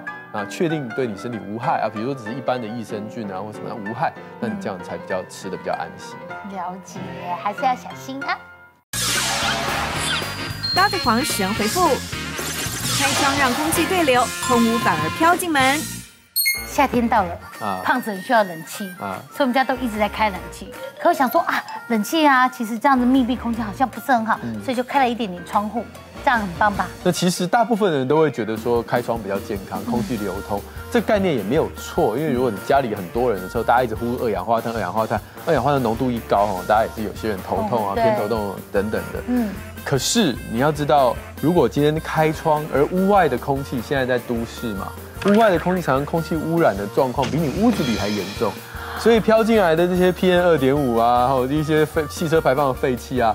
不见得会让你比较健康，而且这件事情我不是乱讲，在台大就台大医院就做过一个研究，在台北市就在台北市，他找了三百个人，好，那就是呃一半的时间你就开窗哈，然后过了几个礼拜之后换边哈，啊就是换成你关窗开空调哈，啊这边换成空调变开窗这样，然后他们就去侦测，就是到底开窗的时候他身体的发炎指数，啊我们都知道我们心血管疾病跟发炎指数有关，那看看是开窗的时候发炎指数高，还是开空调的时候发炎指数高，嗯。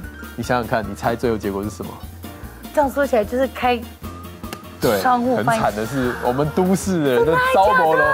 开窗的那一组，反而他的心血管的这个发炎指数是相对是偏高的。所以可能最后最后的结的最好的折中建议就是说，呃，如果你开窗。那你就开一个空气清净机，嗯，那借由这种啊比较折中的办法，让你同时可以把二氧化碳散掉，同时你吸到的空气又不要太糟糕，这是我目前折中的一个办法啦，了解参考。那就只好搬到山上喽。山上不一定好。搭的黄神回复：希望孩子不挑食，要从怀孕开始做起。想让小孩吃的健康，其实妈妈都很多配包。对像昨天我就说，兔宝你是兔子对不对？那一定很爱吃红萝卜。然后兔宝就这样，这一招 对用太多次了。我就我就说，那你吃一个好不好？然后又有了四块，他说，那我吃一个，你吃另外三个。嗯我就这样陪着他吃三个。问题是我也不爱吃红萝卜啊。可是我才发现，好像让小朋友不挑食，从妈妈怀孕就可以开始慢慢的调整他，对不对？你会发现很多小孩子挑的食物都是妈妈不爱吃。是。啊，那就很好奇了嘛，所以有些人就会说是因为妈妈不爱吃，所以我就不煮。嗯，啊，因为我每天煮饭，那我就不煮我不爱吃的，所以小孩就间接也没吃到。那就你刚刚讲，有人研究就是说，哎，搞不好不只是这样哦，因为从宝宝有味觉的时候，你知道宝宝什么时候有味觉？他在你肚子里的时候就有味觉了。他每天吞你的羊水，嗯，就是尿羊水、吞羊水这样，真的我不我不夸张。所以他在吞羊水的过程当中，他其实味觉是有是有感官的，所以你就是喝尿是 有味道的就。对，所以如果你今天吃的东西的那些味道，会有一些些会经到经过你的这个子宫，然后跑到羊水里面，所以宝宝在你的肚子里就可能喝到，如果你吃红萝卜，他就喝到哎红萝卜的味道。那你知道小孩都是这样子，他在肚子里或者小婴儿的时候，他觉得什么东西是安全的，这种习熟悉的味道、熟悉的声音，他就觉得很有安全感。所以等到你长大给他吃红萝卜的时候，他可能就没有那么的排斥。哎呀，所以从怀孕的时候就可以慢慢的教对导啊，所以你那那那来不及了。第第三胎，第三胎，真的假的？没有啦。好，好，所以就是怀孕的时候可以呢，慢慢的给小朋友一些食物的味道。对，了解。嘎的狂神回复：爸妈老爱翻旧账，孩子永远学不乖。黄医师，我发现不只是情侣之间吵架爱翻旧账，我发现我在骂小孩也很常翻旧账对，很容易啊该，不会是女人都爱翻旧账吧？没有啦，男人也喜欢翻旧账对，也是。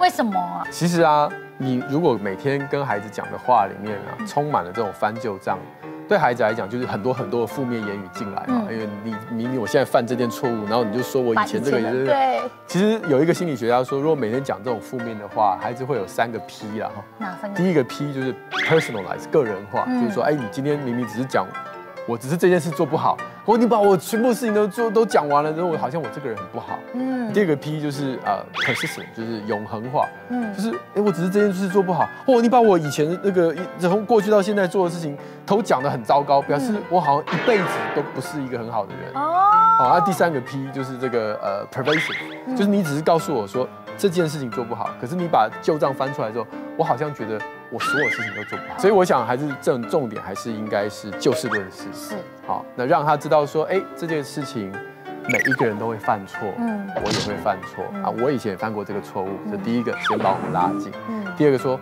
那我以前犯错的时候呢，我都怎么做？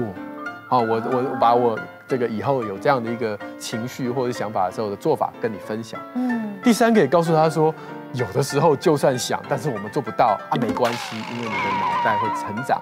今天做不到，哎，明天、后天，哎，明年、后年就做得到了。嗯让孩子知道说，哎，这件事情每个人都会犯，而且有方法，而且这个有方法不见得现在做得到，未来都有进步的空间。这样这样，其实孩子就不会有那个三个 P 了啦。好正面哦。嘎的狂神回复：孩子走路常跌倒，可能鞋子没选好。我还是其实小朋友在学走路过程中跌跌撞撞很正常，对可是呢，当这段时间有点长的时候，其实做家长会担心说，是不是他有一些什么病？哦，是这样的状况？大部分最常正常的小孩，大概在两到四岁的时候，因为他的脚会有点内八，嗯哦，或者是比较垂直，嗯哦这是正常的。嗯。所以这段时间特别容易跌倒。嗯。那我们妈妈就会有点担心，想说我的小孩已经学会走路这么久了嘛，也没有很久了，对，一天到晚在跌倒？大概也学会走路一年了，怎么哎又常常跌倒，嗯。他就有点担心。嗯。那原则上我们看小朋友是不是有病的话，我们是看他的肌力跟平衡力。嗯。所以如果那个孩子爬楼梯都没问题，蹲下起立都没问题，嗯。然后叫他单脚站也没问题，单脚跳也没问题，那他这个跌倒可能就只是因为哎分心啊，或者是因为刚刚讲哎哎这个这个时候有点小内八，所以容易脚会打到这样了。解。那脚会打到这个时候，我们就延伸到下一个话题，就是说那那我们要怎么帮小孩选鞋？嗯因为现在有时候选那种前面头很宽的鞋，会啊，他已经内八了，对，打到，更打到。所以这个可以看到很多专家都会说，哎，帮小孩如果不需要穿鞋的地方，就让他光脚。嗯，啊，真的需要穿鞋的地方，记得就是包覆要，这第一个就是整个脚要包覆好了，不要就是啷啷的这种鞋。嗯，后跟要硬，前面要软。上面要贴，大概就是这样。那鞋底是不是越厚越好？不是要保护？当然不是啊，就是厚呃，这个这个就是适中了。嗯，然后太薄也不适合，太厚也不适合。什么是适中？呃，只要让孩子，就是你看孩子跑步走路没有什么问题，我想大概就是适中了。哦。他如果跑跑就我不喜欢这双鞋，走一走就累了，我不想走，就表示那个鞋子可能对他来讲就不是太适合。一般来讲就是零点五公分以上。啊，零左右啊，按以上，然后小孩穿的舒服，我觉得这是一个可参考的指标。了解。抓子狂神回复：卫生习惯没做好，小孩也会香港脚。怀是之前我看到网络上有个文章，就有一个妈妈很紧张，她就拍了一个照片说怎么办？她小孩子脚的前半部部啊，然后就是有红红的，然后有点龟裂，然后有一点脱皮，然后有点水泡。她说是啊，我的小孩得香港脚，会吗？小孩会得香港脚吗？以前我们都认为香港脚在青春期以后的人才会得，嗯，因为这是很合理的嘛。包括他们开始穿一些比较厚的袜子、鞋子，然后青春期又脚气啊，比较湿啊，流汗那些，然后角质层也比较。厚，然后总之各样不利的因素，让青春期以后孩子会跟成年人一样开始有香港脚。嗯，可是现在我们发现青春期以前的小孩也是会，真的是会，因为现在青春期以前小小孩也是一样穿的很厚的运动鞋，也是一样有可能流很多汗。是啦。那如果这个卫生没有做好的话，还是会有霉菌，只是当然几率比较低啦。那两个很难分辨，当然还是要医生来帮忙。那有几个分辨的一个特色，第一个就是你看到那些什么什么水泡啊、龟裂啊，还有红啊，香港脚有一个特色就是痒嘛。所以如果如果它有痒，哎，也也许我们会稍微想说可能是这个香港脚，但是也不一定，因为有另外一个疾病，像小朋友这种足部的啊脚部的湿疹。啊，也是会痒，所以这个痒是第一个可能可以判断指标，但不是那么准。那第二个就是霉菌感染哈，通常会先从一脚开始。哦，所以这是我比较常用的。嗯，就如果你是哎这个两只脚都同时来，那我大概想大概就是湿疹，比较不像是香港脚。但如果是哎就一只脚，嗯，我可能就会比较想说有可能是霉菌感染。哎呀，对对，那当然还有一些形态上的分别。总而言之呢，就是不要太紧张，但也不要太过放松，给你的医生评估一下。确定到底需不需要用抗霉菌的药哦，卫生做好好。家的狂喜回复：小孩犯错也能用赞美让他改过。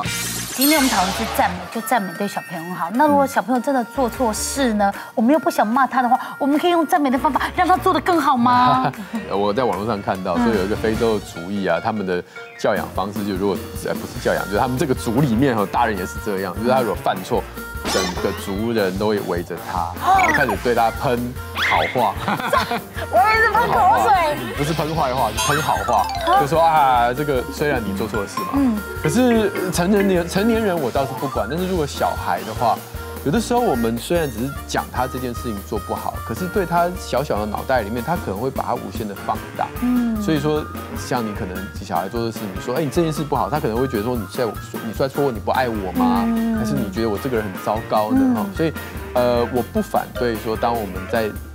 这个指正小孩的时候，用赞美来包装，那就是最有名就是三明治说话术，对不对？哎，你先点出，哎，你做错一件事情，好，那呃，在点出一个做错的事情前面呢，你先把它一个好的特质先讲，哎，我觉得今天。这个你刚刚有帮妹妹哦做事情，我我看到，哎，觉得你是个很贴心的哥哥。嗯。不过在中间的时候，我发现你会故意抢他的东西，这样你这个冲动行为不太好。嗯。那最后再塞一个好的尾巴。嗯。不过这个我相信你这么贴心的人，下次你一定会做的比这次更好。嗯。那就把那个好话好话中间夹，你要呃就不会那么的严重，他就不会一直扩大，不会一直扩大。高子狂神回复：给孩子吃水果，爸妈拿捏有智慧。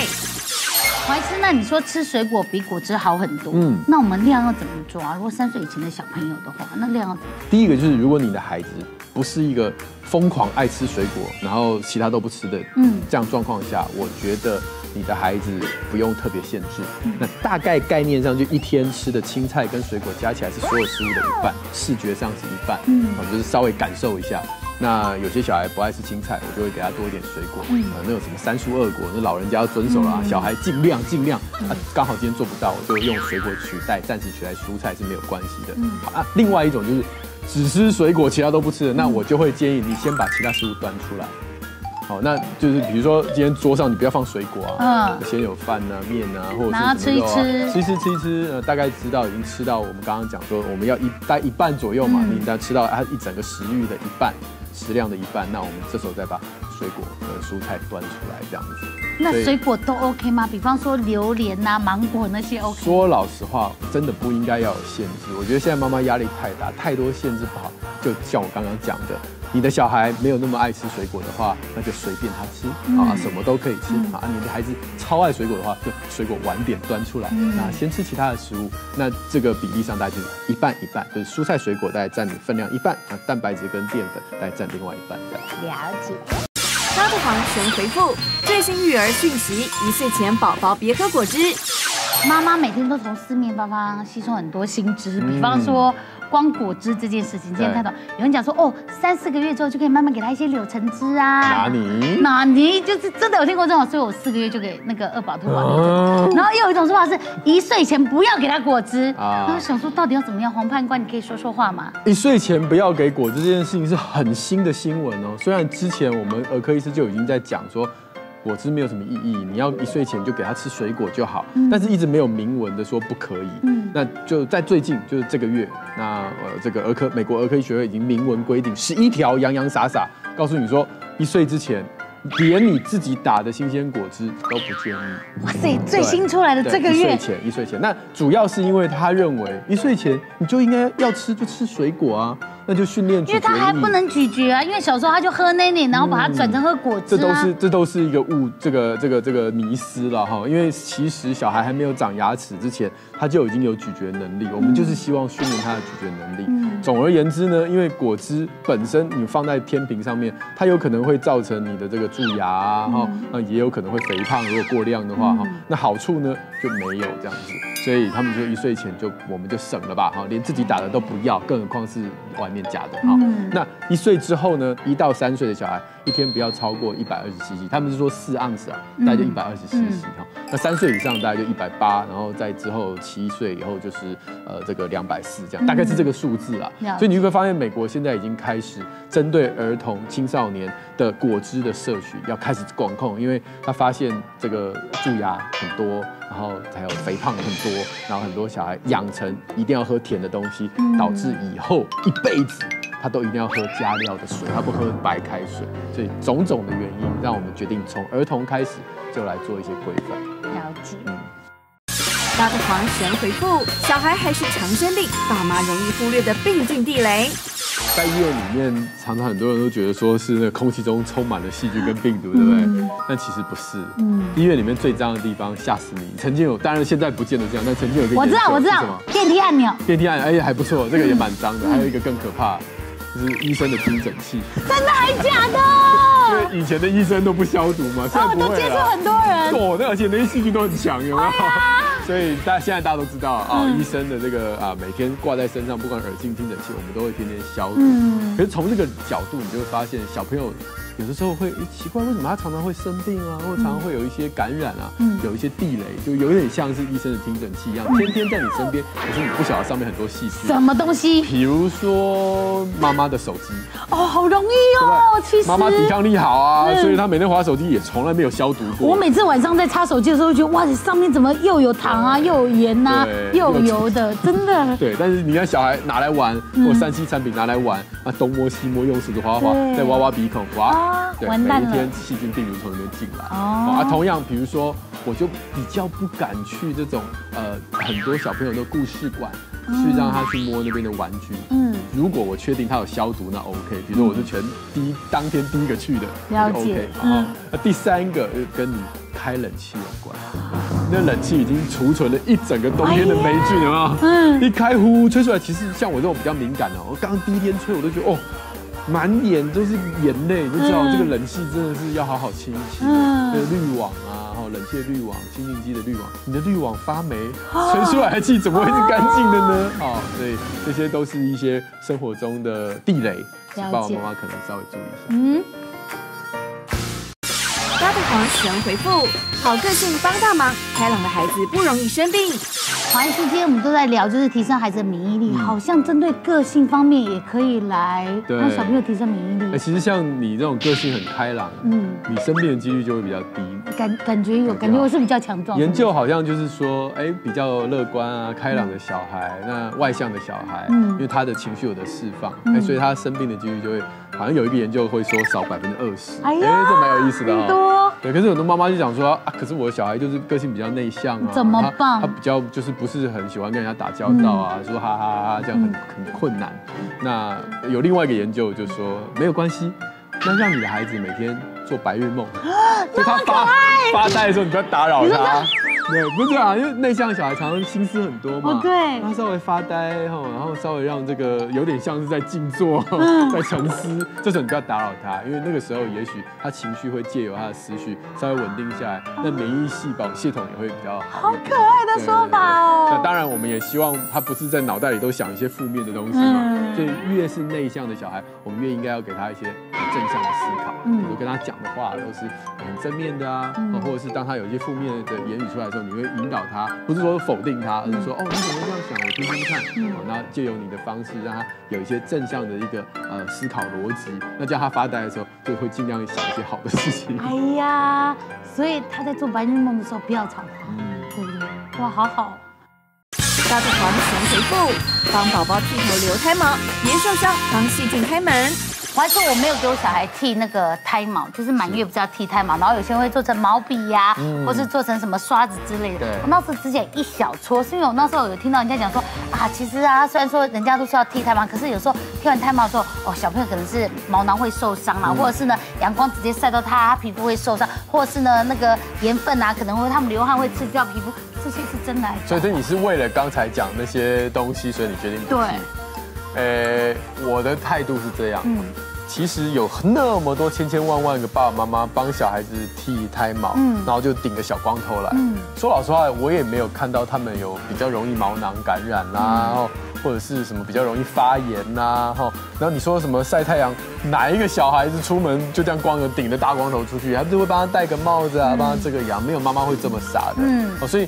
我不觉得剃胎毛这件事情，如果你今天剃的过程当中没有让小孩受伤，哦，就前提了。嗯，你把搞到上面都有伤痕，那当然是太糟糕了。嗯，没有受伤的状况下，你要剃就剃吧，你不剃也没关系。那有一种说法说不剃会长不出头发，对，我觉得这是错的。哦，剃胎毛我倒是觉得有一个缺点，嗯，就是我们我们尤其是东方人，有些人的头发还蛮粗的，嗯，好，那你就发现呢，有些小朋友剃了胎毛之后。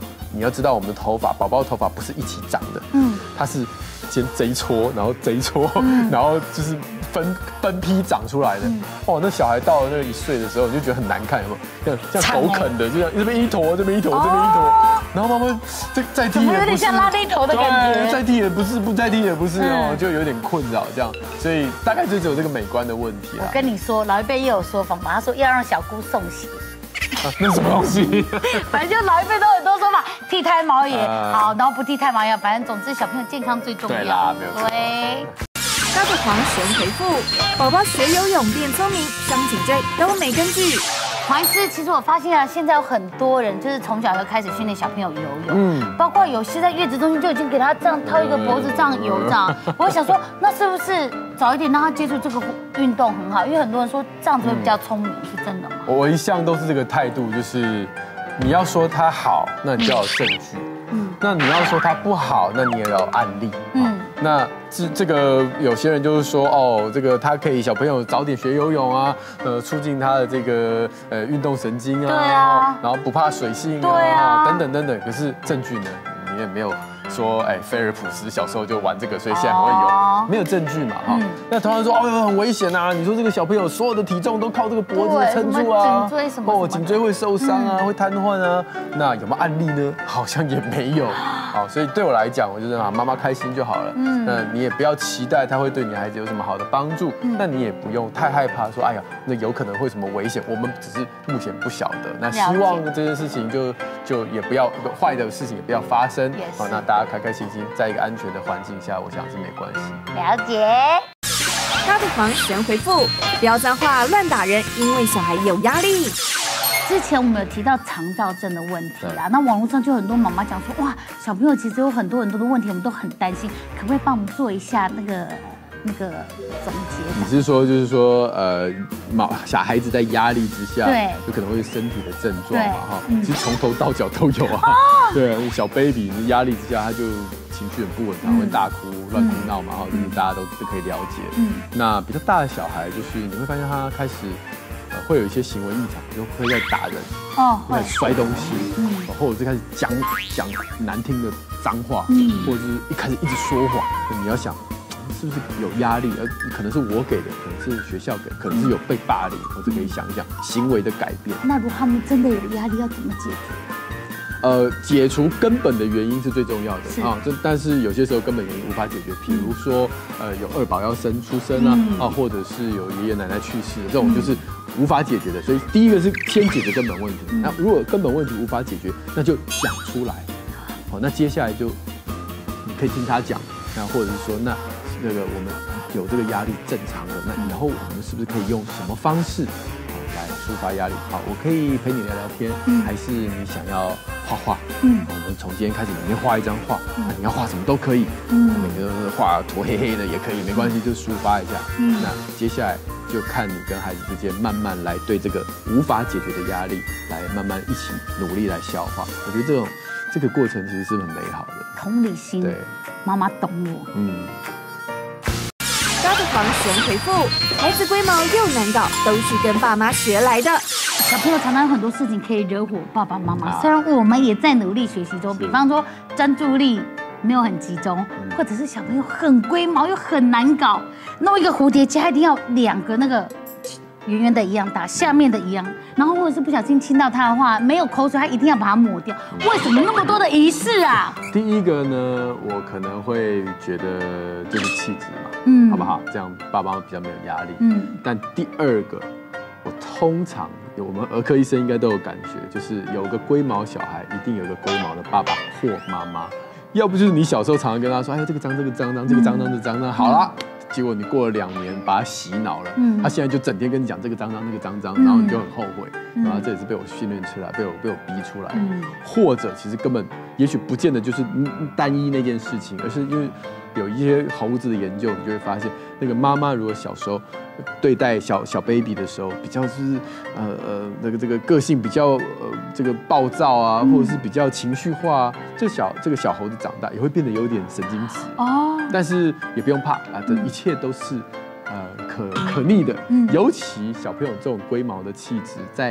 那三岁到六就五岁之间，好像都是一个过渡期，他会有一点点洁癖哦，讲故事要你每一个字都讲，不可以有跳字。我其实他那个时候有一段这种道德洁癖的时候，那这段时间你只要呃不要再像以前这样子整天很龟毛，之后其实小孩过了那段时间，他也是会恢复。所以我就给你第三个，就是这是一个年龄哦，这个年龄常常会发生的事情，过了就比较好了这样。所以同理他的这个龟毛气质。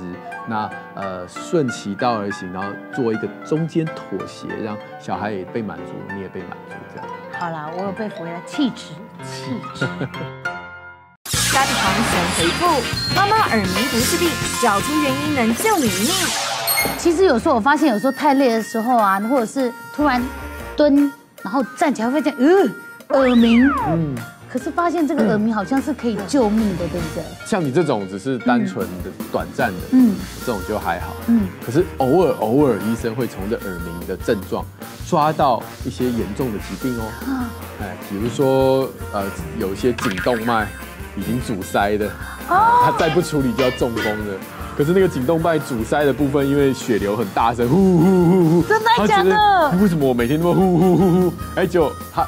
这个医生检查之后发现，哎呦，耳鸣不重要，重点是这个血管搞定之后，你的耳鸣就会消失了。所以我想，虽然啦哈，虽然说耳鸣大部分不是病啊，不是很严重的病，但是还是让呃鼻喉科医师啊或者是专业医生帮你评估一下，搞不好可以救你一命。哎呀，蹲下来站站起来也是吗？冲不过去血液？你那个短暂的应该不算。哦，好可怕。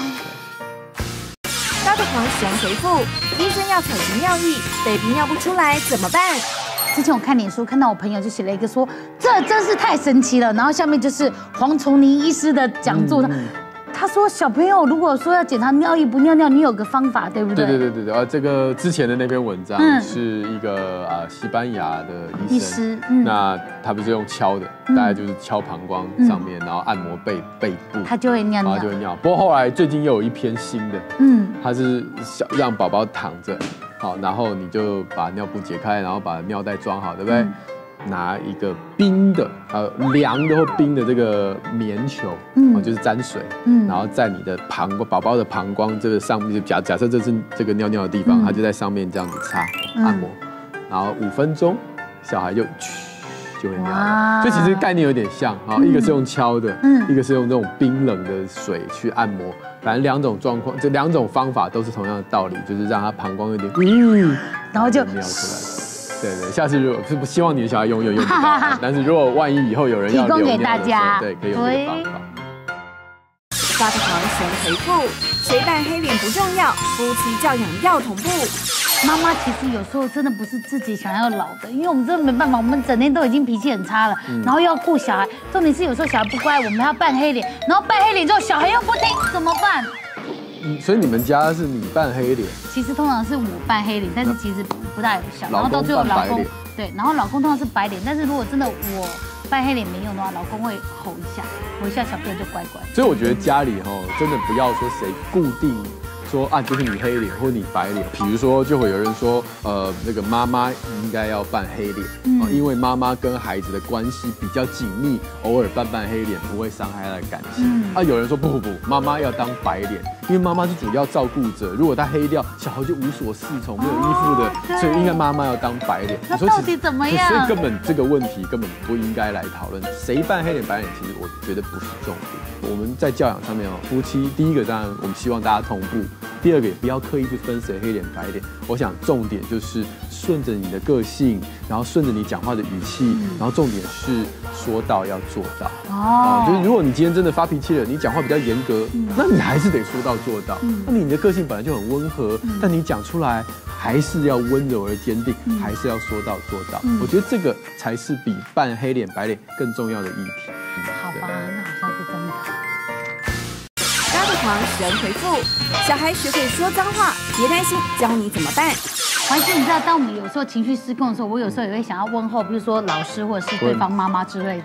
当然，你当然问候老师，哦，问候妈妈，问候别人的妈妈。对对对对对对。但是我发现小朋友会学，你在他面前问候过别人的吗？不住，或者是在跟朋友聊天就啊，这是什么什么？就哎，小朋友就说你说什么？哦，而且配上那个情绪，他记得特别清楚。对，而且我发现小朋友啊，开始知道这个东西我们很介意之后，他更爱讲。对，怎么办？他没有讲粗话的话。呀，所以所以第一件事情真的是不要露出马脚了，就是对这。因为你只要有这个方法来发泄情绪，小孩就会学啊。那很多妈妈做的很好，爸爸妈妈就是在家不讲，那可是他小孩去外面学到了嘛啊。所以第二个就是说，那大家从外面学进来了，那我们发现，哎呦，糟糕，这个事情不能怎么办？对，那这个时候你要看小孩的表情，因为小孩有时候讲这些这些气话的时候，他要看你。那就表示说他知道讲这个你会，你会有反应，然后就嘿嘿，他就再过一讲，对，所以第二招就是，如果今天孩子已经有这种故意要引起你注意的这种表情，就要忽略他。第三个就是说，我们还是会注意，就是我们会在之后啊，比如说事过境迁之后，有一天说，哎，我那天听到你用一个。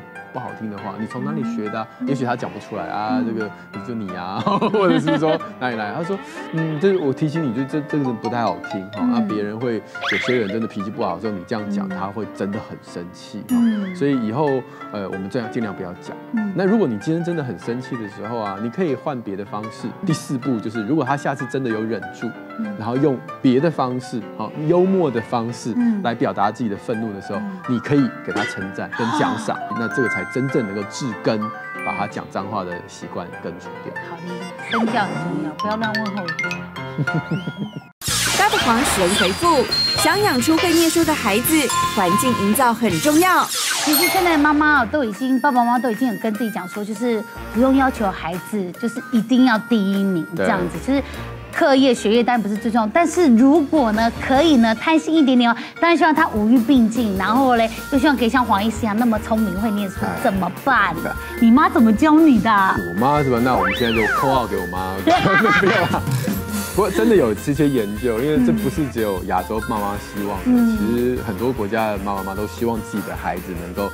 至少不要排斥念书或学习，不要排斥学习。嗯，结果你会发现研究真的有结果，哦结果跟我们想象都不一样。嗯，其实它最重要是给孩子安全感，对，而且甚至这个安全感在年纪很小很小的时候就已经决定了。也就是说，如果你在两岁三岁前孩子都是很紧张的话，他将来对学习欲望会降低，一辈子的，而不是只有当下，是一辈子的。嗯，所以没关系，有亡羊补牢都来得及。所以如果你的孩子，在学习上感觉哦，好像书念不是很有动力。这时候其实我们应该反过来说：第一，我不要让你很紧张，嗯，好像那让你有觉得在家里面是一个很有安全的地方，爸妈不会随便念你。之前我的小孩真的把玩具弄坏，我就这样跟他讲：我说，哎，我给你揉赖吧，啊，你你试试看，嗯，坏掉就算了。啊，真的把它修好，我好惊讶，我想说，哇，哎，我没有在旁边，就是哦，没有没有没有，他自己去弄，那我就很高兴，我就觉得说，第一个，我让他没有害怕。然后他开始会去探索，嗯，然后第二个就是所大所有专家都这样讲，学习都是跟着游戏开始的，所以之前有一个，我记得有一个啊不有一个很有名的，我忘记他是谁了，他就说他的童年，他爸妈扮演一个很好的角色，就是当我爱车的时候，他送了我一个。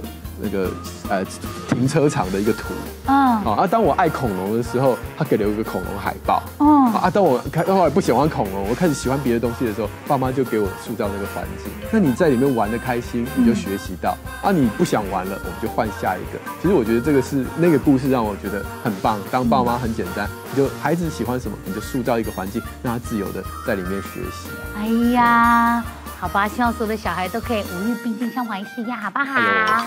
老嘎哈！称赞我不好意思啊，讲讲而已。家的狂神回复：养胎迷思，吃黑变黑，吃白变白。怀孕的时候是妈妈很紧张、很紧张的时候，所以这时候就会听很多呢，呃，人的意见，尤其是一些老人家的意见。像我那时候晚上就说，要多喝豆浆，皮肤才会白啊。啊，不要吃酱油，小朋友皮肤会黑；不要吃芒果，因为小朋友皮肤会黄。很紧张哎。可是现在兔宝生出来白白胖胖，我就想说，哦，那应该是那时候喝豆浆的关系。但是当然不是啊，我就很好奇，就是现在科学这么进步，嗯，真的还有人会相信这个，表示我们的国中生物教育是失败的，对不对？因为我们的肤色其实是。遗传造成的嘛，所以我们其实黄种人的皮肤是最棒的。哦，太阳晒多哦，我们就会变黑，隔绝紫外线；太阳不晒啊，就变白。可是不晒就不好嘛，因为维生素 D 会不够。所以其实这个都跟你吃白的东西跟吃黑的东西完完全全没有关系。受精的那一刻就已经决定了。所以吃什么没关系，酱油尽量喝。对啊，健康的食物，但不是尽量喝。当酒这样喝吗？没有啦，就是正常的吃。其实这些健康的食物啊，牛奶啊，酱就加一点酱油啊，或者是一些黑的芝麻都没有问题。你的孩子肤色不会因为你吃的东西的颜色而得到影响啊。嗯，所以放松一点点好不好？哎，不然想说连芒果都不能吃，夏天芒果冰多好吃啊！奇异果让小孩变绿色。对，绿巨人好客。